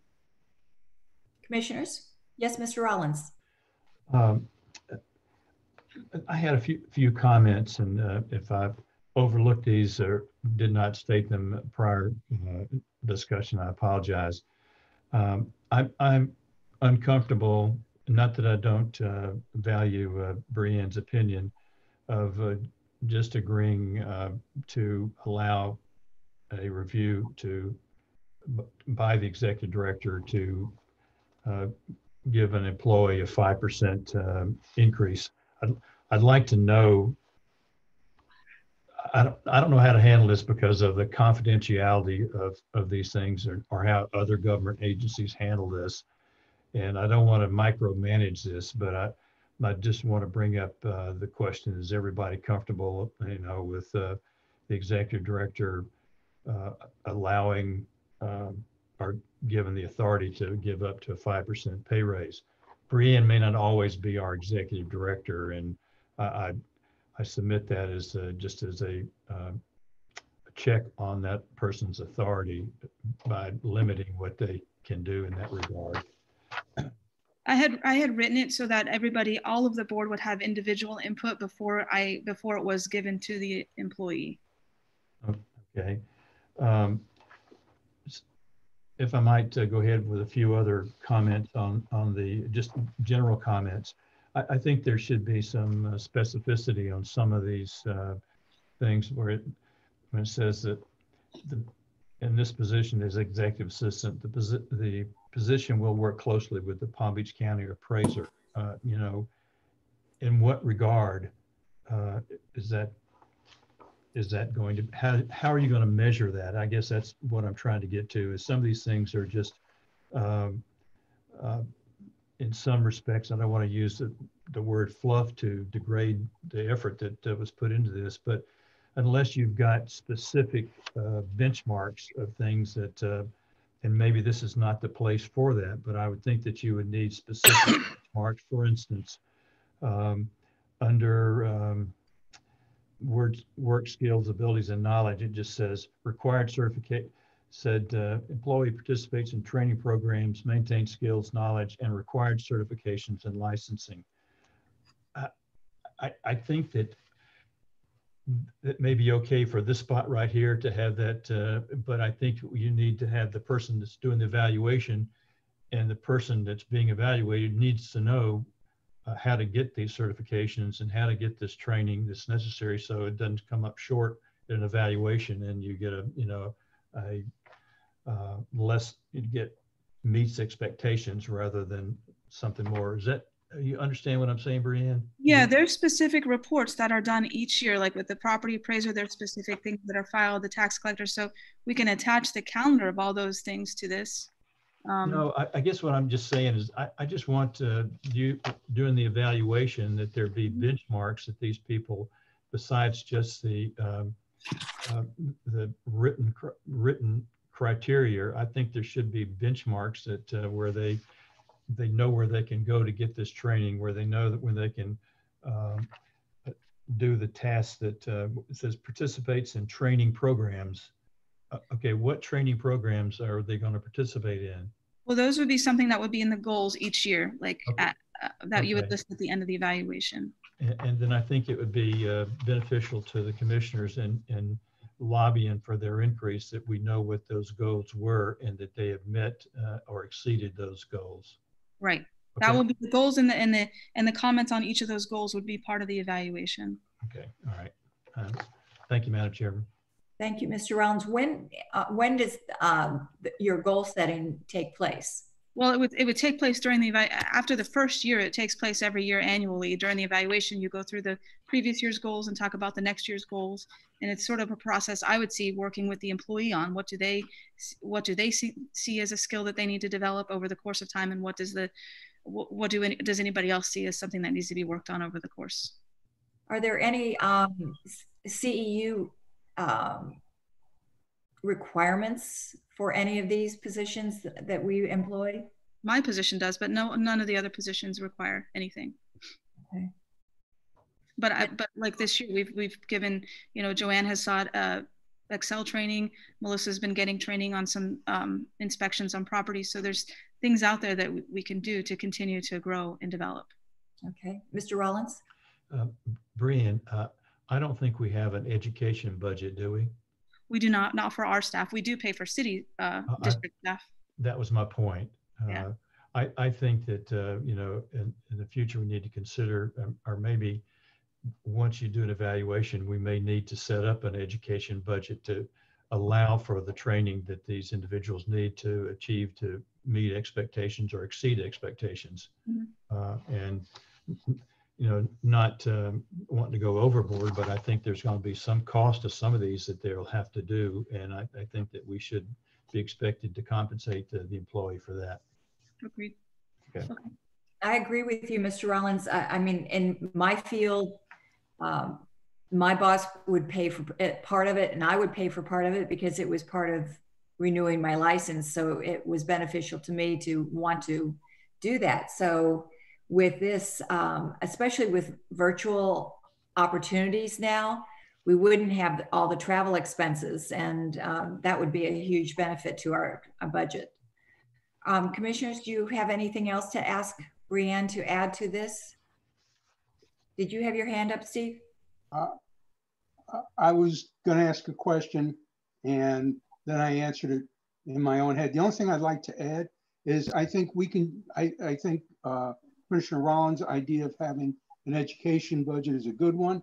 Uh, I think it's something though that we need to look at every year because uh, needs and requirements are going to change every year. Yes. Um, and I don't know that we can have any specific specificity toward uh, exactly what kind of education, what kind of courses uh, will be taken because that changes over time. Um, I, I don't think at this point uh, the uh, courses that might have been beneficial 15 years ago would serve the same purpose now. So I think that's something we have to look at uh, on an annual basis. Mr. Rollins? One final comment, uh, Brianne. Uh, Perhaps uh, the review period could be done before we set our budget so that uh, in the discussion with the employee, you can uh, s- select coursework that they need and then uh, at- put that into a particular line item on our budget. Yes, could do that. Brianne, when are you comfortable with coming back to us with your final information? Well, depending on how the talks about Boca Teeca go, I could come back at the next meeting, hopefully with this revised and, and done. I had one question. Mr. Rollins, again, just off the, Commissioner Wright? Um, just on page 49, it just talks about um, uh, having employees who are not meeting expectations yeah, and the consequences. So that obviously is on the executive director to handle that, right? yeah, there's a, there's a, a portion of that in the um, employee handbook. It's not really spelled out. So my recommendation was that you know, for the future of the district, for the future employees, we all won't be the same employees forever, um, to somewhat define that for, at, at some point. Because it, it came So it's not defined. It's not defined what the process will be. It's, it's stated kind of um, openly that these are the options for um, correcting behaviors or, or performances that aren't meeting expectations. Okay, well, can we define it here as it being um, something that the executive director Yeah, we can, we can. deals write- with, I Yeah. guess, Yes, we can do that. If everybody's in agreement with that? You want a timeline, Commissioner Wright, or um, No, not a timeline, just, you know, uh, you know, in terms of like um, the first issue that arises in terms of an employee not meeting expectations, the executive director deals with or something like that. And then um, if there's further con- further issues that arise in terms of that employee, then it's taken to the board in terms of, um, you know, something like that, and just defining who's dealing with the situations. We'll write up, I'll write up a policy and bring it to the meeting-. I mean, because I think also we have to look at the fact that we have sunshine. And I think employees, you know, when there's like a, a minor issue in terms of something that comes up, I think it's okay if the executive director deals with it, not in a meeting in front of the public in terms of like our employees, you know what I mean? Um, I mean, if it's a major issue that needs to be discussed with the board, obviously, but minor issues that the executive director needs to deal with, I think can be done um, at work. My opinion. That's uh, Commissioner Ehrnst, you had your hand up? Yep, a couple quick thoughts is, um, I'm fine with it. Um, to, uh, Commissioner Wright's point, um, I think she can be guided by, um, Jake and Sam, because then you get into, um, human resources, employment law. And I'm just very conscious of this board being dragged into, um, individual employee concerns, whatever it is. So the executive director, from my perspective, should be responsible for the employee and that communication, but Jake and Sam can guide us, whatever that language is. Um, Mhm. Yes, we should be informed as relevant things. The other thing is, is the second thing I want to point out is the five percent rule. I assume it's, it says up to. So the scoring methodology, I think we removed those as percent increases and just referred to them as zero. So it, it that that's just a scoring methodology. Yeah, I, a I, I. I removed those and I actually wrote up to 5% every two years. So it would, you know, maybe, because we talked about maybe one year, there's no, maybe there's not a, a raise that year, there's other benefits, things like that to consider. So I actually wrote in here that the policy would be up to 5% every two years. So I, moved in the budget. So I guess I'd further define that five percent as five percent of their, you know, prior year gross salary or something, because you don't want it to be on benefits or whatever it is, just define it. That's, that's my point, is define that. Mr. Rollins or Commissioner Rollins has something there. Thanks, Rollins. Greg. Uh, Sam, are these um, evaluations uh, uh, subject to public record request? Yes. Okay. Thank you. Um, and then the last thing was is to address Mr. Rollins' concern um, about the the property tax appraiser and things like that. Um, I think the focus there is on the accuracy of the reporting and the and the, the revenue and those kind of things. So somewhere maybe it's in here, and I think it needs to be general enough. But it, it's it ultimately comes back to you, Brianne. You are the accountable person for the accuracy of what we have and working through your staff to make sure everything is, you know, correct. So I think what you have here is general enough, it works, but you may want to make sure you, the accuracy and quality is the most important thing. That's all I have. Thank you.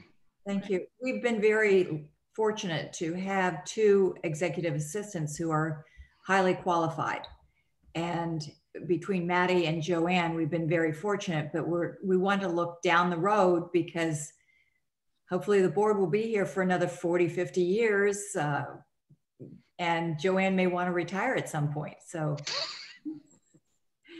So if- you would come back to us with your um, ideas and revisions, Brianne, on the first uh, meeting in November, that would be helpful. If you feel that that is rushing you, let us know, please. Okay. Okay. All righty. Um, approval of payroll and invoices, Mr. Ehrnst, do I hear a motion? Yes, Madam Chair, I'd like to make a motion for approval of um, payroll and uh, vendor payments of $43,943.13. Do I hear a second? Second. Thank you, Mr. Engel. Is there any discussion, commissioners? Hearing none. Joanne, would you please do a roll call vote?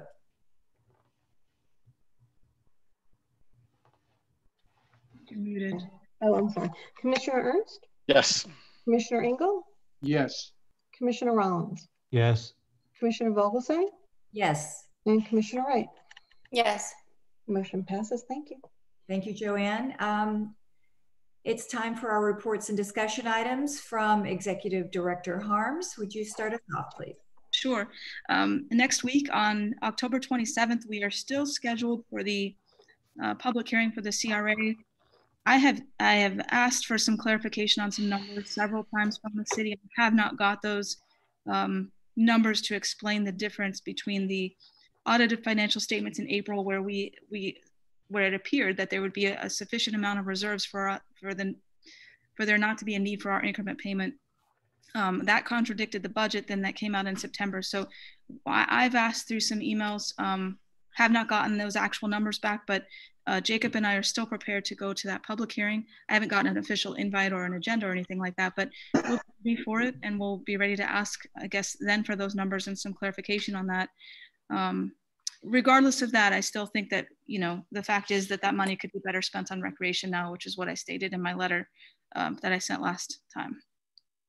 Ocean Strand uh, progress is is finally moving forward. We had some hiccups with permitting and, and getting some things approved through rec services, but we got it done. The permit is is out there, so they'll start the process of removing those two and a half acres of invasives over the next couple weeks.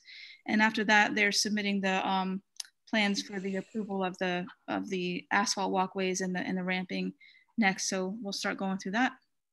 Moving forward is a, is a good thing. Um, and then the, the last thing I had, um, oh, we had two bids come in for the Patch Reef pickleball courts. So staff is reviewing those, calling some references. We'll have those packets out to you this week, so you'll have plenty of time to review them and ask questions before our next meeting. And then um, I, I, think everybody may remember in April of 2019, we went out for an RFP to do shade structures at Sugar Sand and at DeHoernle Park. And then the city came back and said, since they owned DeHoernle Park, they would manage the shade project there, and they planned on doing it last fiscal year. Um, it did not ever get done, and um, we thought it would start, you know, sometime in the early of the part of the fiscal year. They had about six months before the pandemic happened, but it, it just didn't happen. So they want to do it this year, and um, it unfortunately was not included in the budget for the hundred thousand. So the city is asking for that hundred thousand again um, to do the shade structures at De DeHoernle Park we, we certainly can, can accommodate that with our reserve funds. Um, I didn't want to sign off on that without letting you all know that that had happened and see where what you all what the direction was. We could also just ask them to come up with it out of their own budget if they still wanted to put those shade structures up there. Commissioners, any thoughts? Mr. Rollins? Uh, what part of their budget are you thinking they would want to come come out of the money with, uh, Brian? Well, I don't know where they would come out of it in their side of the budget. I, I think that they could make some adjustments, or I, I, don't know that all their CIP will get done this year that they think they'll get done. Um, we would have to take it out of our reserves. Do, do we not have a reserve set up for them? We set up just for specific projects. We could take it out of that and, and then not approve those other projects, those other vehicles.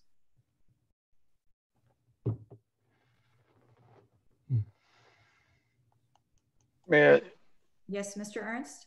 May I suggest, let's, let's see where they come with it. For the residents' sake, we need those shade structures. So um, I think the city said they are prioritizing it and when they're ready to present us with something, we will take it under consideration, but I can tell you residents need those shade structures. They're, they're ready. They've asked for it to be signed yeah. off. See, I'm, Mr. Rollins is making fun of my no hair here. I absolutely want that shade structure. Could I ask uh, Melissa a question? Um, is this a, because you've bid this kind of a project out before, right. is this a fair number for this? I, th I, think it went in line with what we anticipated, correct? Yeah. it was in line with what we anticipated. That was, you know, April of 2019 that we had gone out for that. Okay, We had it done in, in August. We could have had these done too in August of 2019. It just, unfortunately, the city decided to manage it themselves. Commissioner Wright, you had your hand up? No. Oh, okay, sorry. Mr. Rollins? I, I, I I support, uh, you know, finding a way to get this done, as uh, Craig said. I mean, it's, I go to other parks and, you know, and there's uh, shade structures there. And believe me, by the, by the time, uh, you know, the the sports seasons are over, you're going to be wishing you had had them. And, uh, and so w- a hundred thousand, now that we're, you know, probably in the midst of a postponement of um, a major project, um, or the dissolution of a major project, we probably have a hundred thousand that we can spare. And I, I would certainly welcome the opportunity to vote yes for that. Is that a motion, Mr. Rollins? Of course, I'll- Okay, I'll, I'll, I'll make a motion that we, um, you know, uh, uh, either amend the budget or allow for the funding uh, to the city for the hundred thousand dollars in shade structures. I second.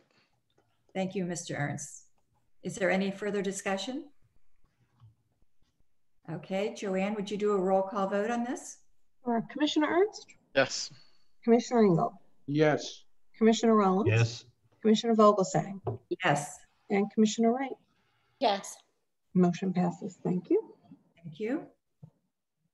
Okay, Brianne, do you have anything else? I do not. Thank you. Okay, it's time for district council. Mr. Goren uh, or Mr. Horowitz?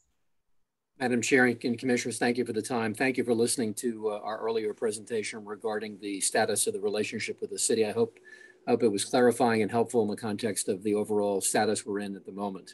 Um, one, one quick update, if I may, we received back some additional title information on the Ocean Strand property.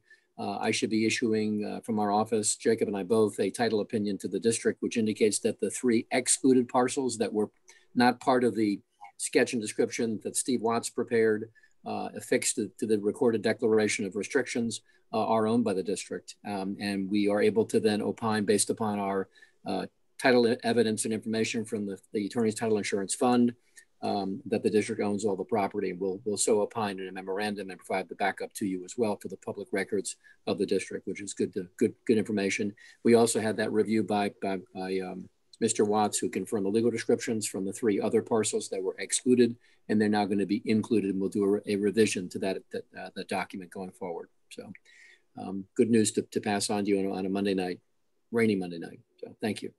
Okay, thank you. Um, Commissioners, Mr. Ehrnst? Um, Madam Chair, thank you. Just real brief. Um, I wanted to uh, visit, revisit the um, foundation, and let me explain my thought logic on it very briefly. Is that over the um, past month, I accepted a challenge for uh, men to wear pink in honor of breast cancer, and so it may look like a white shirt is really a pink shirt, and I've been wearing some level of pink or pink shirts every day for the month of October. And two things came out of that. One is I chose to go to visit a park every day during this month, including today, it was raining. Um, and I visit a park and I take a picture in front of the sign. I look at the park as best I can in the time I have there. Um, but what occurred to me is going to some of the pocket parks, some of the pocket, the parks that you, we just rarely go to. Um, they are, we are truly a great city with some great mini parks. And some of these parks are very small. They're not all like uh, DeHoernle Park or Sugar Sand, but they are great parks. And the city does a phenomenal job of maintaining them and they're very new and everything.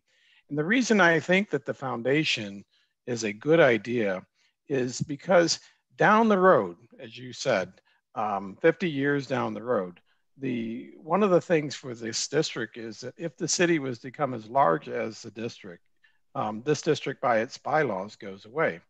Um, I do think that um, we should, um, someday it may happen, I don't know, but the foundation would be a continuing factor for it.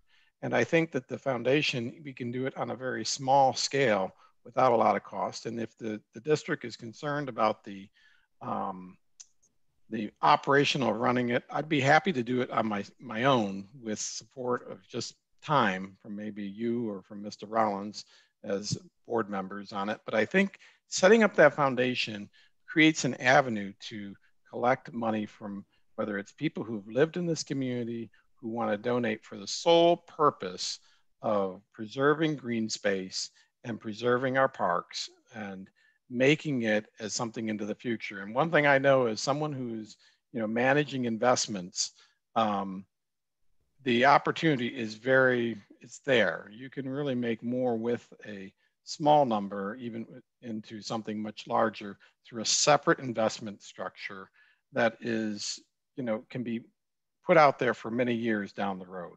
So my point to the, the group is, is that I'd really like us to revisit that foundation at a, a future agenda and make it a priority um, and say that we're going to do that um, and do it at a very low cost role. And if the, and I don't think it takes very much, but if the, if, if there's a, still hesitancy, then I'd ask that you take that foundation and let me do it. I'll do it myself. I believe in it strongly enough and I'd have Mr. Engel on it.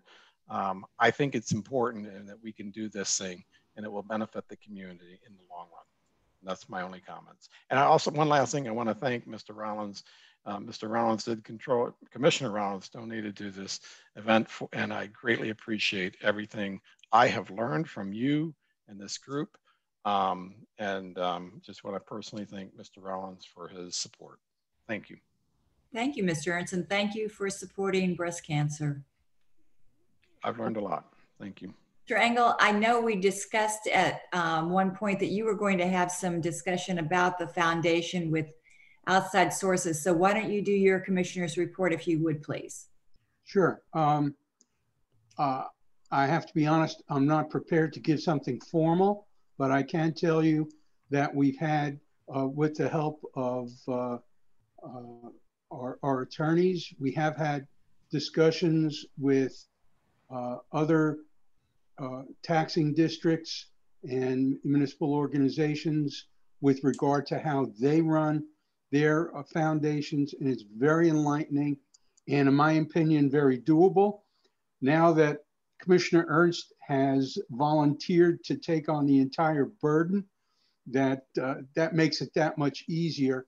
But uh, my initial sense is this is something that's eminently doable uh, by the Beach and Park District, establishing a Beach and Park Foundation. There are a, uh, a lot of different things that we can do. Um, and, and, you know, I should also ask, uh, mention that Brianne uh, has played a part. Um, and we, uh, Brianne and I have discussed things that can be done in the interim before we even have uh, a, a, formal foundation. Um, but this is something that is very doable by the district and uh, it is something that I think would be to our benefit and to the community's benefit as well. But I will have more for you, hopefully, if not next meeting, then the meeting following. Is there anything else you'd like to report? That's it. Okay, thank you. Commissioner Wright? Yeah, I just wanted to bring up um, this weekend. I don't know if it's a one time thing. Um, Mr. Rollins might know more too. Um, I was at FAU at the soccer fields off of Glades because my kid, or actually Craig, you might know too. Um, and uh, the bathrooms were like unusable. I don't know if we can. um, and there's a lot of teams coming from Miami and Wellington and visiting these fields. There are our home fields. Um, they were really gross. Um, so I don't know if we can say if we can if Brianne can um, you know relay this to uh, FAU to to see if there can be some um, cleaning like before the Saturday games and Sunday games uh, in the morning and then maybe midday or something um, because uh, just it was embarrassing to have teams come and not be able to use the bathrooms because they were unusable. Brianne, would you look into that for Commissioner please, and for all these soccer players? Yes. Anything else, Mrs. Wright? Nope, that was it. Commissioner Rollins? Yep. First of all, I've been wearing this pink shirt all day, wanting Mr. Ehrnst to say something about it tonight, and he hasn't said a word. So, Craig, it is pink. Yeah, I hope you can see that. And I do have my I voted uh, sticker on my shirt today too. So everybody do your civic duty. Um, just two things. One about the restrooms, Erin, that's been just an ongoing problem over there. Do they still have the portalets outside? No, it's just the building that they Okay. have. So Yeah. Uh, Brianne, I, I th- think I can give you uh, Brian Wright's email address and you can send him an email. Uh, he's very responsive. The other thing that uh, there has been a complaint about over there was the um, the netting on the west side of the uh, the fields there was in disrepair and balls were going deep into the to Yeah. the jungle. Um, and um, there was a concern about player safety, and uh, Brian's supposed to be working on that uh, along with the maintenance person. Uh, finally, uh, I don't want I don't want anything I said to be misinterpreted about the the golf course. I I think that it was a a, a wonderful addition to the city's recreational amenities. I just wish there could have been a different way that it was handled, um, and the, the transparency bothered me. Uh, since we make a point to be transparent in everything that we do, I, I was I, I was disappointed in that albeit I understand the sensitivity of that project. I just still feel like there could have been some way that, um, you know, our, our concerns could have been incorporated into that decision. And that's it. Thank you. Um, I do have a question for our council. I, I know we got a letter from the governor saying that this is our final virtual meeting. Is that correct? Even in, in light of the fact that the numbers are going up and there's a concern between flu and, and corona, um, are we going to meet in the uh, Willow Theater next meeting? That's the best answer I have, and, and Jake, feel free to, to, to supplement this discussion, but the governor's order, uh, which is entered on September the 30th, 20-246, perhaps. Um, I don't have the number in front of me, uh, essentially was covered with a memorandum from the press secretary for the governor, which indicated that local government units are to prepare for live meetings as of November the 1st. Um, Okay. So based upon that information, and then that was issued at- at the, at the later hour in September the 30th, it gave everyone a month to work from. If you give me one second, I'll actually give you the memo. Hold on one second. The, um, I read this back to the Regional Planning Council this morning because it's worth noting.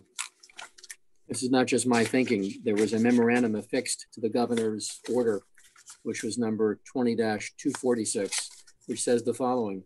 The state of Florida recently entered phase three of the governor's plan for Florida's recovery from COVID-19. Executive Order twenty two forty-six assists the transition to phase three by providing local government bodies with an additional one-month period to conduct their meetings virtually. Local governments, lo- local government bodies should prepare to meet in person as required by Florida law beginning on November 1 of 2020.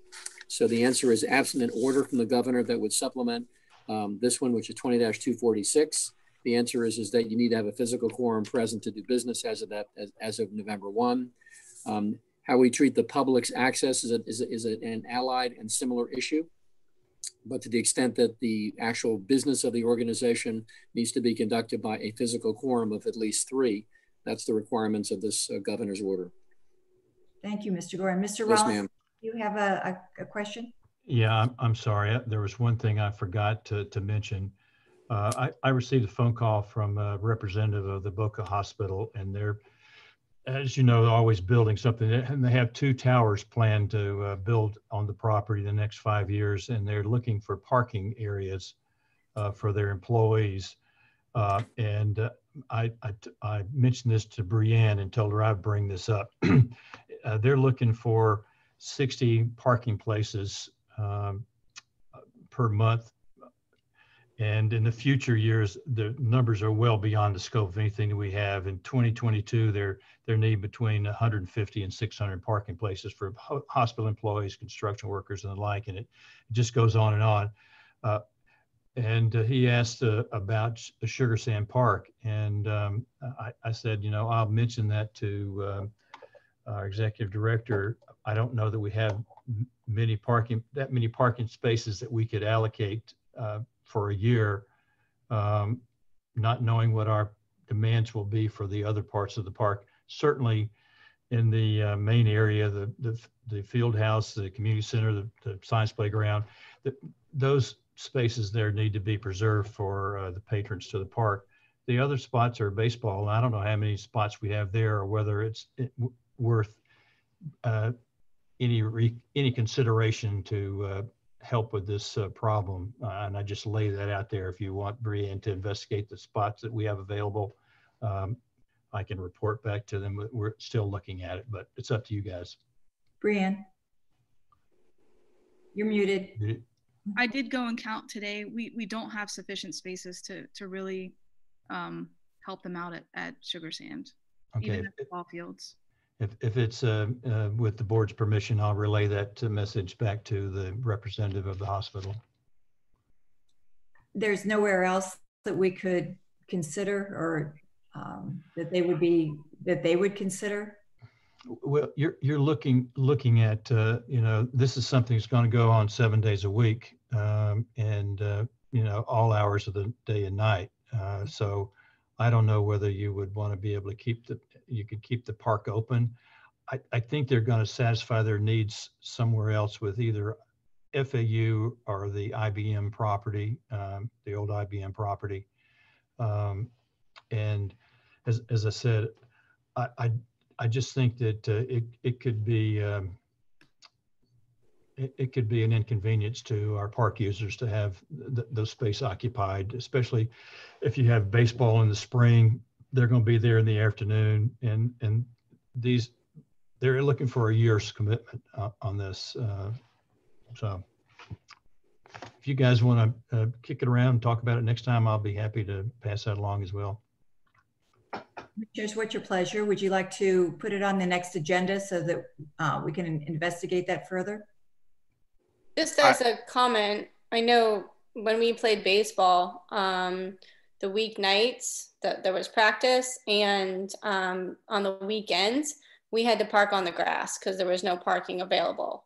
So um, that's just a, you know, There- There's. that would um, make it really hard. Yeah. Mr. Ehrnst? I would add, I support what Erin says. There, there really is no, I mean, it's peak, up and down peak time. And from what you described, Mr. Rollins or Commissioner Rollins, it sounds like they're looking for their construction crew somewhere to come in and bus over to the thing. It'd probably be closer and better for them to work with the airport authority because it's right near 95. It's accessible. Um, and somewhere or FAU would be better. Um, that would, so I, my recommendation is not to entertain it any further. But I do want to add on one thing I forgot to mention since you brought up the baseball fields.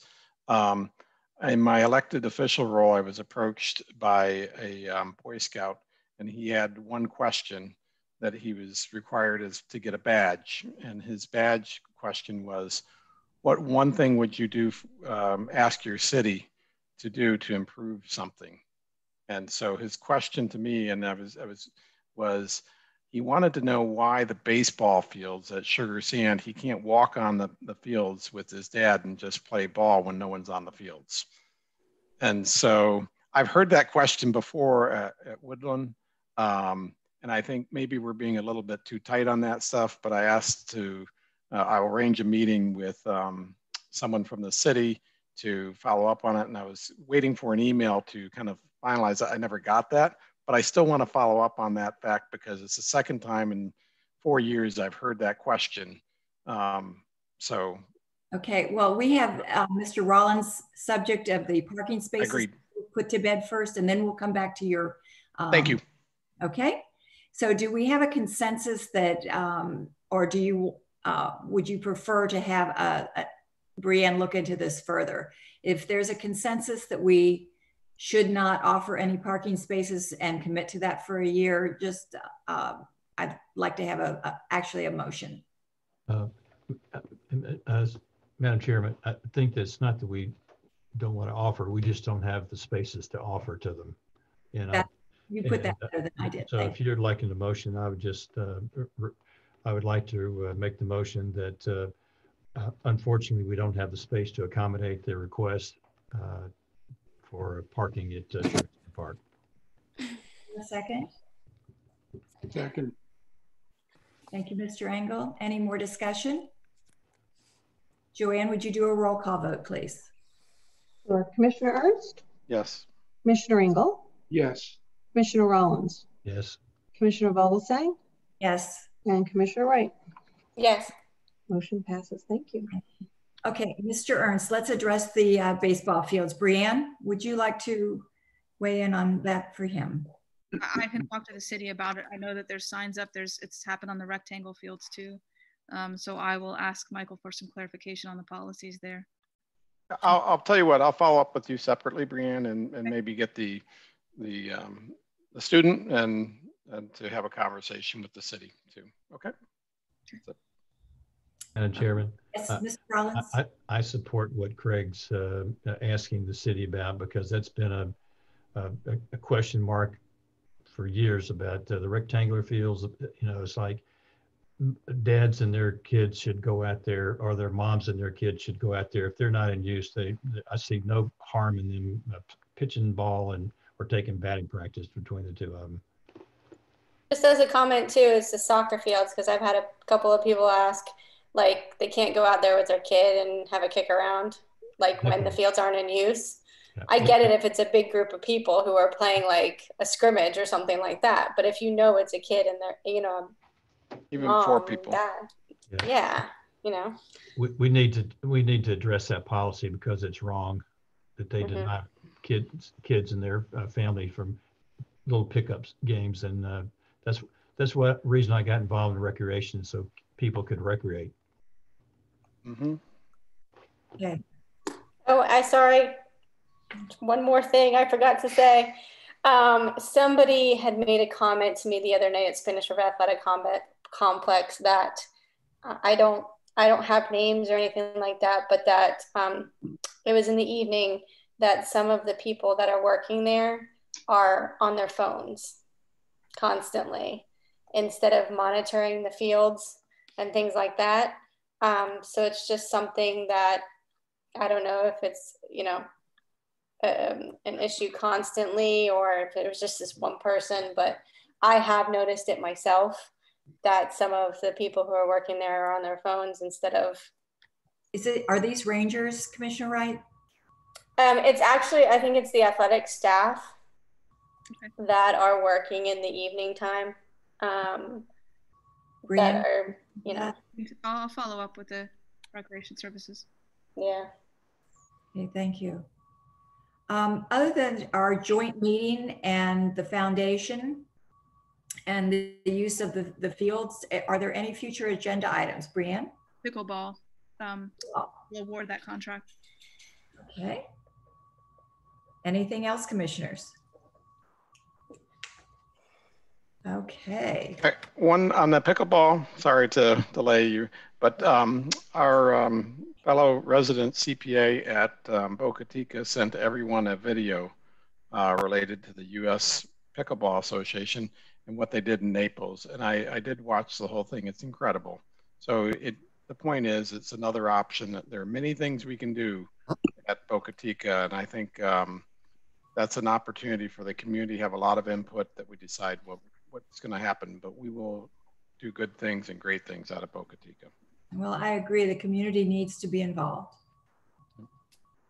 Um, Mr. Engel? I move to adjourn. Second, Okay, thank you, Mr. Rollins. Joanne, a roll call vote, please. Uh, Commissioner Ehrnst, Yes. Commissioner Engel, Yes. Commissioner Rollins, yes. Commissioner Vogelsang, Yes. and Commissioner Wright. Yes. All right, meeting is adjourned. Everybody stay safe. We'll Good night, see you. everybody. Everybody. Happy